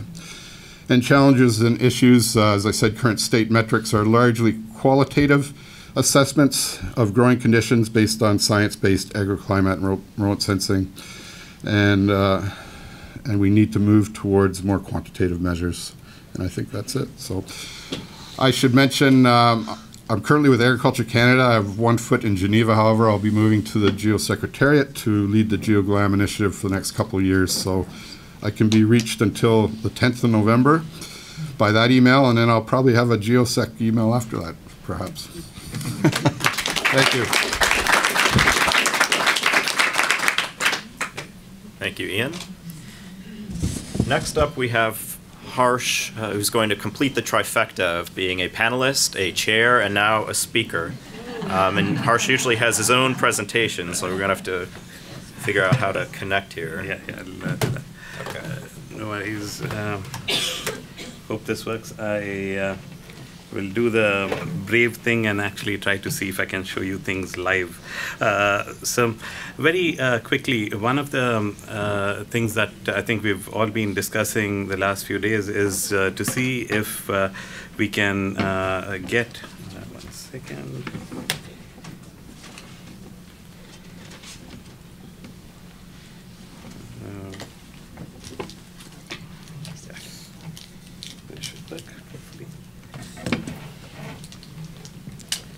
If we can get a more uh, a holistic spatial uh, perspective of uh, a lot of the stuff that we've been dealing with, uh, hopefully this works. If not, I will have to do a plan B. Uh, so. Okay. Yeah. It, it did before. Oh, it was. Okay. Uh, okay, it's back up again. All right. Uh, so, uh, what uh, we are trying to do is to see if we can uh, promote more integrated spatial approaches where uh, it's not just the hydrologic cycle that we can estimate in terms of what's coming down, what's going off, and what's going to groundwater coming up, and so on, but also the fact that a lot of the watersheds that we are working in all have various users and various institutions associated with those users. And so, as you have more and more agencies associated with different parts of a uh, watershed, there's a need to try and see if information and, uh, and analytical tools can be the web that knits together a lot of the work that uh, is uh, happening in, in this type of a context. And this is at various scales, whether it's a transboundary river basin or a small little micro watershed. Uh, it's just different types of issues at different levels. But the challenge is to try and see if we can go from not just to look at data and try to see where does this hammer fit in terms of which nail this can hit, but in terms of trying to see what the challenges are. So suppose we are looking at flood coping, we'll need some good knowledge in terms of early warning and recommendations about what to do. To do that, we need better information on the weather forecasting, the flow forecasting, and the uh, flood uh, uh, forecasting. For that, we'll need a lot of data on both the in situ and uh, bottom up and top down data set and ways of converting it from one to the other. So the challenge is to try and find all those decision uh, support type of uh, elements that are required by many of our clients and to see also what can be done at a retail level and what really could be done more at a wholesale uh, level in this uh, case. So if we can think about uh, how the wholesale folks can help the retail folks, and I'm, I'm sure we'll have the presentation sent around to try and see uh, what we can do in terms of, say, a lot of the entities that are gathered here or GeoGlows can help each of the people in the countries, for example, by providing platforms that they can use, or how the retail folks can help the wholesale folks in terms of trying to get better data for calibration, validation, and so on in this uh, regard. And uh, then to try and see if uh, you can help create systems in which you can pull together a lot of the the, the the the the data from bottom-up uh, type uh, approaches, which are a lot of the in situ measurements, with the top-down satellite-based systems, and use the famous cloud services that we all talked about this morning to try and see if we can uh, go in and also do a lot of data processing, especially after we rescue the a lot of the in situ data, and to try and see how these could then be disseminated in different platforms. So I'll quickly show you two platforms that we've been working on. One is something called Spatial Agent, which tries to pull together a lot of different data services in one uh, platform, which is an example of uh, a collaboration. And the second is a way of uh, packaging knowledge in uh, terms of uh, these ebooks. So, quick uh, minute on uh, each of these. One is Spatial Agent. It has a new look and feel now. we have a little bit of a Netflix thing going on now, where you can even see, you know, you know, if you like these, you may also like some other sites that are out there, and also a whole range of of data sets that are there from uh, from different data services that uh, are there from different sources. Just to give you a feel for some of these, uh, I'll just show you, for example, data related to, let's say, country level. so if we are talking about just something like GDP per capita, to try and get a feel for, let's say, what was China in 1980, about $194 per capita, and now it's around $8,000 per capita, versus Madagascar, which in 1980 used to be three times as rich as China, but unfortunately is now less than what it used to be with a lot of the conflicts and so on uh, that have taken the toll there. So uh, to try and get quick access to a lot of country level data as well as subnational data sets. For example, a lot of the climate station data that uh, has been uh, pulled together by WMO from different places. Uh, and a lot of WMO agencies have uh, found a way to try and better display the 20,000 or so station data that's out there globally. for example, this is from the Royal Netherlands Met Agency, for any station to try and find not only the averages, but also in terms of the entire time series on record uh, to try and uh, look at these uh, types of data sets, whether it be from 1853 or uh, right up till 2017, uh, you know, to try and look at recent data, or to look at the evidence base for, say, is the temperature actually increasing or not in these stations and so on, these kinds of data sets. In addition, a lot of the, the clever work that all of you are doing, for example, to put a lot of Earth observation data in there. For example, in the last half an hour, how much rainfall have we had uh, in since we this session began, or in the last three days, how much rainfall we've had. You know those kinds of things to try and uh, quickly look at these types of data.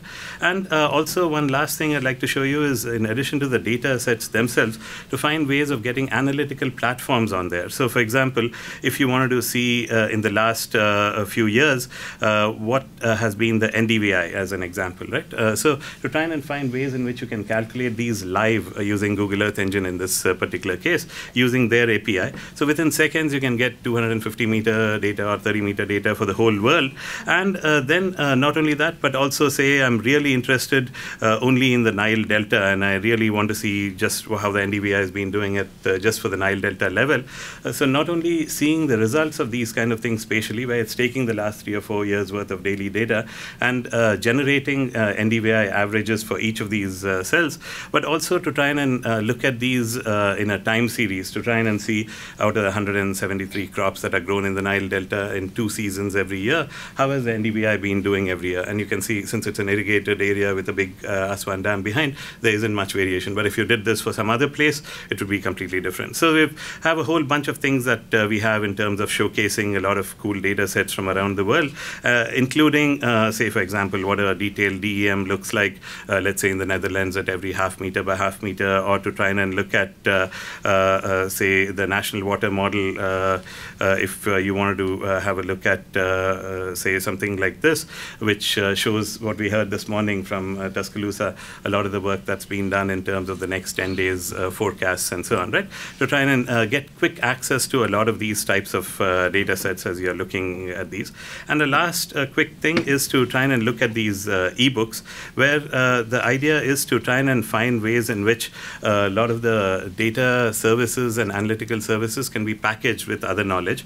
This is an ebook that we've done with uh, the NASA folks, just to show you where you can integrate different types of videos and uh, show. And one last thing to show you is, in addition to uh, data on different services, being able to access uh, a lot of the data services interactively in ebooks. So, for example, if in Punjab they talk about in India groundwater going down, you can see what the GRACE data has to say about that and so on. So, quickly visualizing a lot of these data and pulling these together. And we'll be happy to work with all of you in this regard. Uh, and uh, we've already heard about the high level panel on water, and there's been a high level panel on data as part of that, where they've been, the bank has been helping facilitate working with Australia to try and get more harmonization in this space. And we're hoping that we can take it forward with the help of all of you. Thanks.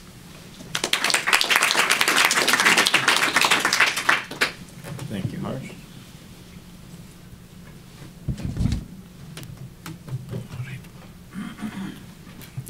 Let's see if this magically works again for us.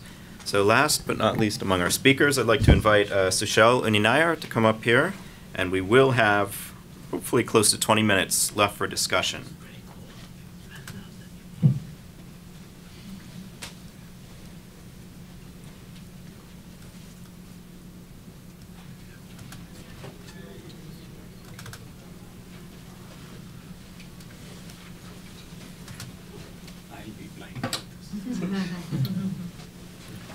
Thank you. Going off the Harsh gives me a migraine, actually, because the slides are so good. in any case, I'm going to try and cover this in a very general, uh, general way. Um, as you know, there's 17 Sustainable Development Goals. Each goal has several targets, and each target has several indicators. So there are several hundred of these, which in theory has to be monitored and reported on. So for SDG 6, which is what I'm going to concentrate on, which is for clean water and sanitation, it's got various targets. And as you know, just by reading them, access and affordable water for all, first of all, you need to measure water availability.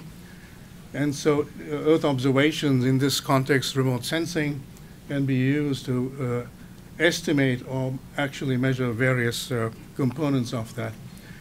Later on, I'll concentrate more on 6.6.6 and 6.3.2 because we had a little short-term pilot project with the UN Environment. These are the indicators for target uh, 6, for goal 6, and there are various custodian agencies on the right-hand side. And 6.3 is 6.1, and okay, go back here. All right. These changes in extent, and that's one which is very readily measurable by uh, remote sensing. I'm going to give you a few, few snapshots, which Harsh had much better versions of. This is a Landsat uh, uh, map, which is a, a, population density derived from Landsat. And so what this shows is that you can take Landsat's classifications and with suitable calibration and modeling, you can derive parameters such as population density, when you combine this with other, other variables, so socioeconomic, et cetera, you can determine water demand and water flows, water use. This is uh, done by Nima, who's in the audience here. I'll come. I'll give the acknowledgements later on at the end. This is a water quality indicator 6.3, along with uh, this is looking at total suspended solids and uh, chlorophyll A. Anything which color the satellite can observe, and that's how this works. And there's also a time series, and the general idea here is to, to come up with an estimate of water quality. And if there's an anomaly going on, you can then point to an efflux of nutrients or something into the water body, and then go and determine what that is in terms of water resources management. This is, a, again, 6.6.1, an extent map, and this is a MODIS uh, uh, uh, 250 meter resolution uh, image. Left is a, is a reference period, and the right shows 2015. We have supplied these to UNEP to establish baselines and some measure of variability. This is a similar thing done by University of Maryland group. We're using Landsat at 30 meters, and the right-hand side color-coded image shows the various, uh, within, within that period, 2000 to 2015, temporary water, temporary land, land to water conversion or changes. The white water is the, is the permanent water bodies.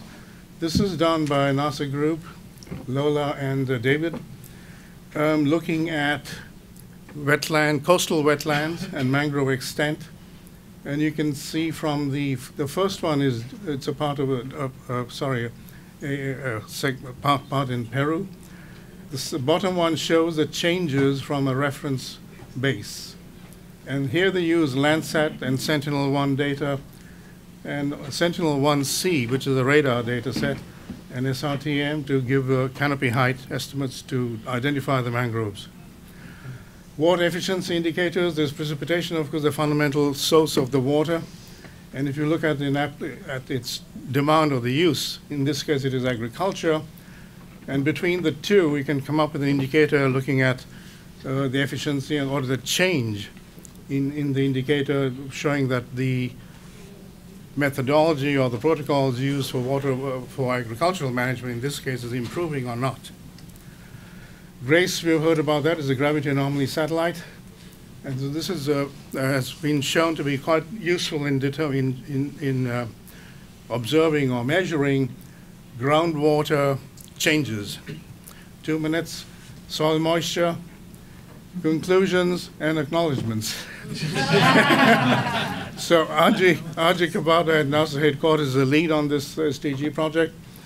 The uh, MODIS um, analysis was done by uh, Alfred uh, Hubbard and Fred Pol uh, Fritz Policelli.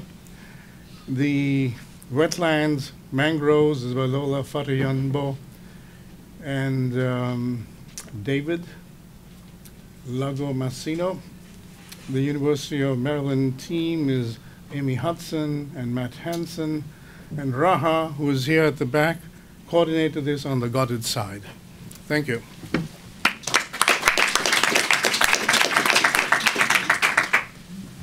Okay. Thank you, and thank you to all of the speakers uh, for your enormous discipline with your timing. We do, in fact, have 20 minutes left for discussion. Uh, I would actually like to invite all of the speakers to come up here since it's only 20 minutes. It'll be a lot quicker if we don't bring chairs up, if you don't mind just standing and, and fielding questions. So if all of our uh, speakers from this latest session, there's nine of you in total, wouldn't mind coming up here, um, I will take the chair's prerogative and ask the first question, because I was really struck by the short video that Angelica showed, uh, because that, that sort of spoke to me and uh, what CI does working with indigenous communities and so, a, a, general question I have is that's sort of a challenge that was put out there in terms of the scale at which the products that we can work on within Geo are they suitable for that sort of more local scale? Uh, in situations where there's really a lack of technical capacity, they, they don't have trained hydrologists there, people to interpret the information. To what extent can the geo community work with those communities that have a complete lack of technical information. And then also about the integration. They were talking about pink dolphins, but there are water quality issues, quantity issues. To what extent, and this is probably the first step, can we integrate the various water related activities happening within GEO? So this question is to no one in particular.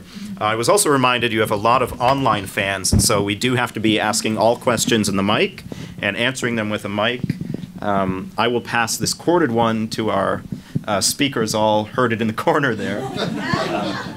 And uh, also, thanks to Derek, now we have more chairs, so please come in and sit down because all of us are over here. Yes, if you're standing in the back, please grab a seat so, uh, now. uh, I'll just take a quick uh, crack at the question. I think the best way to at least get this started, there's no way to get one initiative to combine everything that everyone is doing and do it all through that one initiative. But what we can do is adopt common standards, whether it be OGC standards, whether uh, for data, or whether it be uh, ways of doing open APIs and other things, uh, so that uh, then if all of us uh, throw it over the wall with all of the work that we are doing in common uh, uh, standards that can be reused in an analysis ready format, then uh, what can happen is that very clever people based all over the world can find new ways to try and, combine all of these and make portals and apps and applications that build on each other's data so that you don't have to reinvent the wheel every time and can build on each other's work.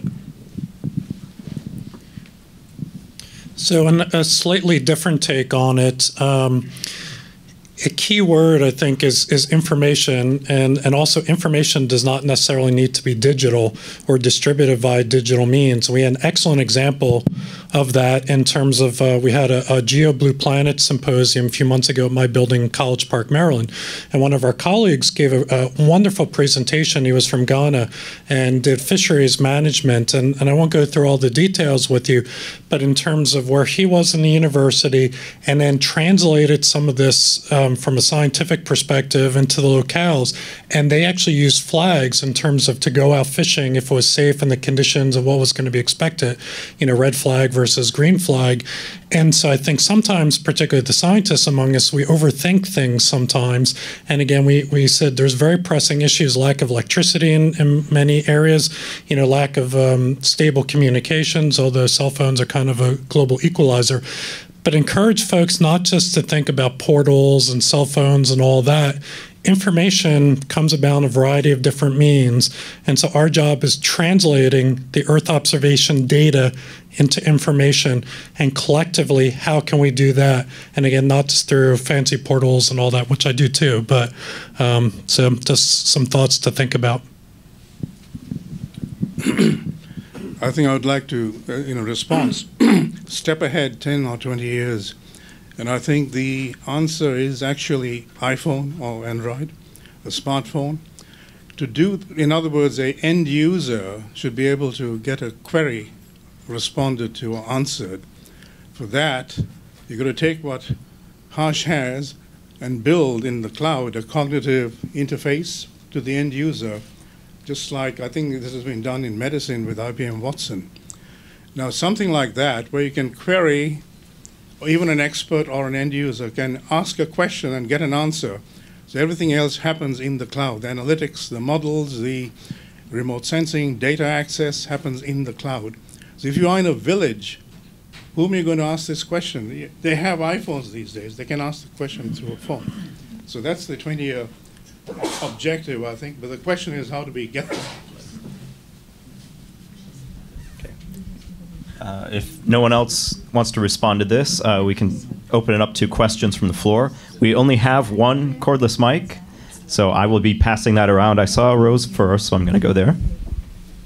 Uh, thank you. Just a quick one um, for the SDG um, presenters that touched on SDGs, especially target 6.3.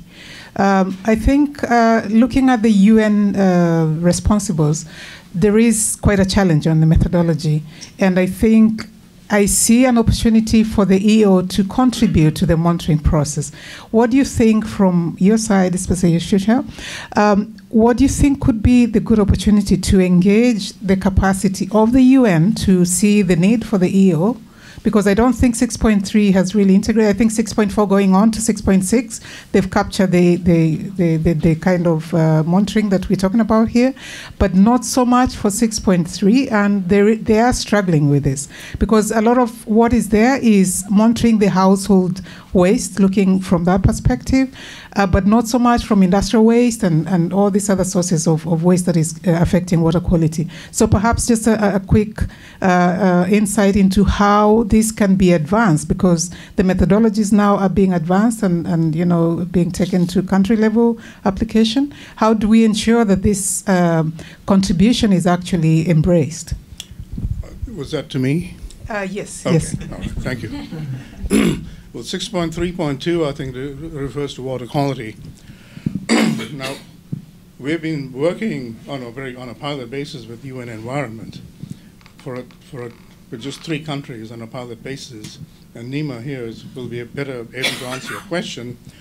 But with a satellite, you can see chlorophyll A, you can see turbidity or total suspended solids.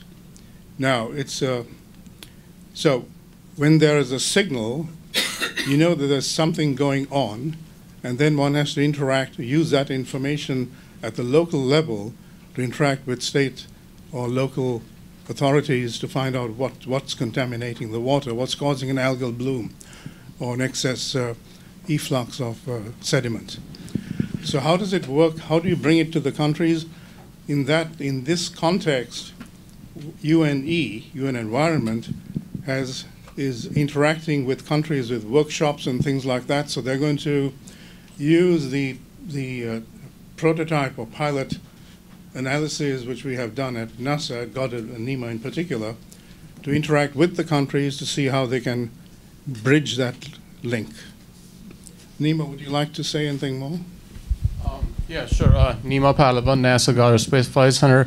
Uh, so recently we've been uh, working on uh, developing a uh, near real-time tool uh, to uh, to essentially detect anomalies in water quality condition, and that's based upon Landsat 8 and Sentinel-2 uh, data. And um, you know, we started uh, talking to end users across the country here in the U.S. And then uh, through this uh, UNEP support and uh, from uh, headquarter, NASA headquarter, we've been sort of trying to engage. Uh, we've been trying to engage end users in these three countries uh, to do some pilot projects to make sure that uh, essentially this anomaly detection tool is actually working and uh, whether the anomalies we're seeing from satellite are essentially valid and precise enough and to help them with the decision making and um, to do hotspot uh, monitoring using this tool.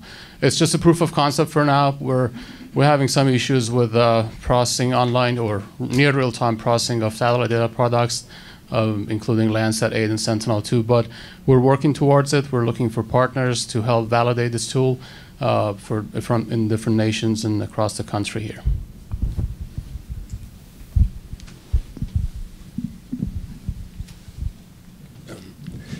I just wanted to make a, a, a, quick point. So one one of the things that's been coming up here is on, sort of real time data, and one of the uh, just thinking about the the biodiversity end of things. One of the big challenges for us is actually kind of I think matching that that kind of that sort of supply of, of data that's that, that we can update regularly and and um, so I, one of the things that I often hear is that is is um, you know what what's the data that we have that can be that, that can be used combined with other um, other water data variables um, that, that that can then lead to the kinds of decision making that we need need to do? And that is a real challenge for the biodiversity data because it's so difficult to get that information.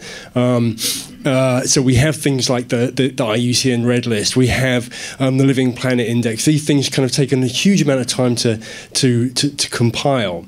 Um, they're hugely useful, but they're, they're they're big things. So I think there are a couple of things that we need to do. And one of the things that's coming back to what you were saying, Derek, is like, well, how do you what what what can we do at a regional scale that's going to kind of be immediately useful? How can we do something like a you know rapid assessment programs that we can get um, representative data that at least it's not it's not everything that we want, but it's something that we can go in repeatedly and, and, and kind of say, well, this gives us a this gives us a kind of a, a, a measure at least, and a measure that we can compare then to, to, to other remotely sensed um, information that we can then say, well, we can compare these two and use one as a proxy for another and so forth. That is a challenge for us, I think, but it's something that we can do. Um, Uh, and I think then kind of looking at, at the, the kinds of opportunities for getting information that we haven't done already, the kinds of citizen science programs, is something that the Freshwater BON Group have done in the past, is sort of mobilizing those data sources. Um, but I think there's there's a lot of kind of um, input that we, the biodiversity community, community can get back from the other sort of water community in terms of what's the what's the information that we can deliver sort of repeatedly regularly that's going to be able to be most useful to help us kind of show what what ecosystem condition is at, at the scale that, that that's useful that fits with these other these other um, data sources. And I think you know for us to be bold in saying like we might not have the, all the data we we need or at the level the precision level that we want but we certainly have something which is usable, and we just have the caveats when we present it. Okay, more questions? Thank you. I am Victor Gutierrez from Temple University in Philadelphia. I am absolutely impressed with all the platforms and tools that you have developed. My question is also along the lines of what has been previously discussed. I like what you showed the process from uh, data to information to knowledge to decision making. Uh, my question is uh, how is it possible to incorporate into all these capabilities, uh, let's say, a two-way process in which uh, you know uh, the recipients are not basically passive into taking information and trying to interpret it and make decisions from it, but actually participate in that knowledge production. I think it's a two-way process in which the practitioners should be more actively engaged. So I would like to hear a little bit of about it. Yeah, maybe just to get uh, started on that, uh, that was the point I was trying to make with this wholesale retail thing because the process has to go both ways uh, in that uh, thing. For example, you go to uh, now villages in many places with people with smartphones will do a little Google search. That doesn't mean that uh, Google needs to be developed at the village level or the country level or the regional level and so on. A global platform is good enough, but it can be used at the individual level, right, to try and do this. Similarly, on a lot of these kind of uh, data and uh, analytics, on some of these where it's just the laws of physics that have to work, uh, estimating NDVI and so on, there's no need to uh, replicate that capacity at every level. I keep saying it's like driving a car from point A to point B person driving the car doesn't need to know how the internal combustion engine works. You need other people. You need mechanics. You need people who develop new cars to worry about those. But there's a lot of the actual use that's made of a lot of these platforms has to be at the local uh, level, but also feedback on what kinds of uh, applications to even develop. What kind of uh, car do we need? What kind of a, kind of a new uh, application do we need? Has to come from uh, looking at uh, needs in different parts of the world and seeing if the economies of scale and combining them together and to make more uh, global-ish platforms as uh, part of this. But uh, the big interaction that has to happen is first to make those products better, uh, which are global products now, by using a lot of the data for calibration, validation, and so on. But also more important to try and get the needs uh, about what kind of decisions are to be made at different levels to help uh, spur the actual development and to help guide the actual platforms which are being developed over time. So that's right. You're right. It has to be a two-way process at least. I think just a minor comment. Uh, what you're referring to, I think, is assuming that the end user can obtain the information. You're, you're suggesting, and I think validly, that the, there should be an interaction. So, in the case of, let's go back to that uh, village in Colombia. Let's assume we can get to that village the information remote sensing based products or informa- derived information which answers a question. In response, it would be very good to know how they use it and what, what uh, impact it had on their own local management. So that feedback going back to the remote sensing agencies could be quite useful in, cal in calibrating or validating their products. As Nima also said, for water quality, we don't really know when you're looking at a satellite whether what you unless you have ground truth validation everywhere, we don't know how accurate it is. So that feedback would be quite useful. But going back further, I think there, there could be a whole, just like citizen science, the, the end users could be a part of the crowdsourcing. Is that right? Okay. So that that's the future model, I think. It takes a lot of uh, it takes funding to do this, but what we have to realize is that we have about 20 or 30 billion dollars of space-based assets there, observing the Earth system continuously. So we need to optimize the delivery of information and products from that system, and we're not yet there in an efficient way. Thanks. And, and this, I think one thing, it's an excellent question. It's really at the root of all this. I think one thing you've heard is there are going to be different mechanisms. One thing is getting back to the to the retail, wholesaler, retailer, I call it like the hub and the spoke. Um, and but like one, for example, I run a, coast, a program in NOAA called NOAA CoastWatch program, and we make available um, satellite data products for coastal oceans, global oceans, et cetera. But one thing is we have a staffed help desk for folks to email, to call, leave, and answer questions. So that's one example. I think the citizen science, in terms of how you actually bring that in, it's easy to say. The challenge is how do we do it? So, but that's definitely a venue. I think the third is Marie was getting to before someone else is.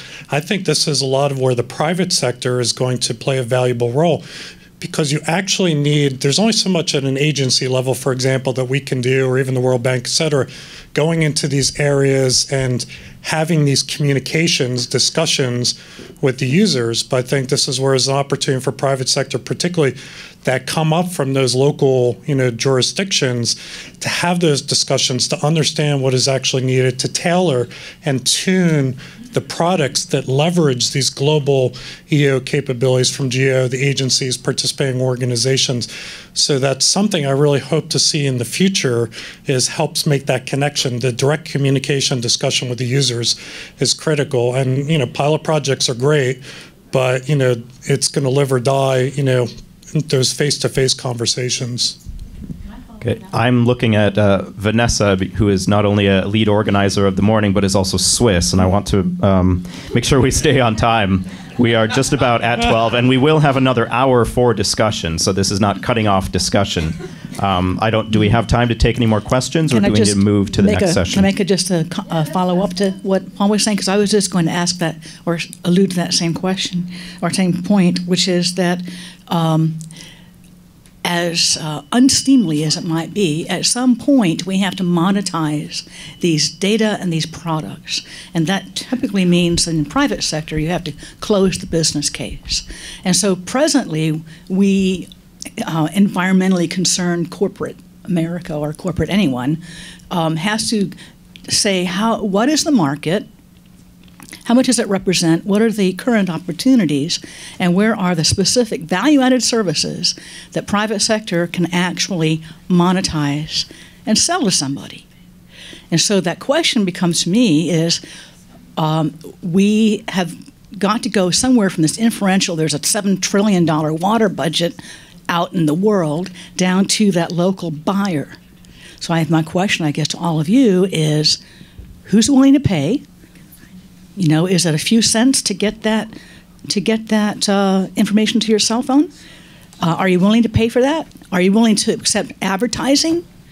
Is that is that unseemly to this group? You have a little advertisement to get your data, um, and then you know, the, the, going back to the the two way part is, um, you know, what are they? Are people willing? Are we willing to pay people rather than volunteers to make a little business? Which is nice, right? To go out and make these measurements and sell them back to somebody, but that has to get kickstarted with some kind of catalytic, catalytic kind of thing that says we're going to have to look at those business models, and um, we can't always compete with free. We cannot compete with free. Uh, your sustainability will never happen. So I think that was a great point. Thank you.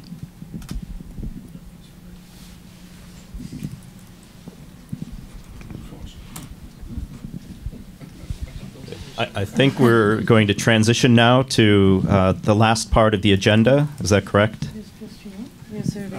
Yeah. Well, Oh, this. Okay. I just, you know, you can talk, and I go to my email, and then n- not everybody see my email, and I find the question, and then.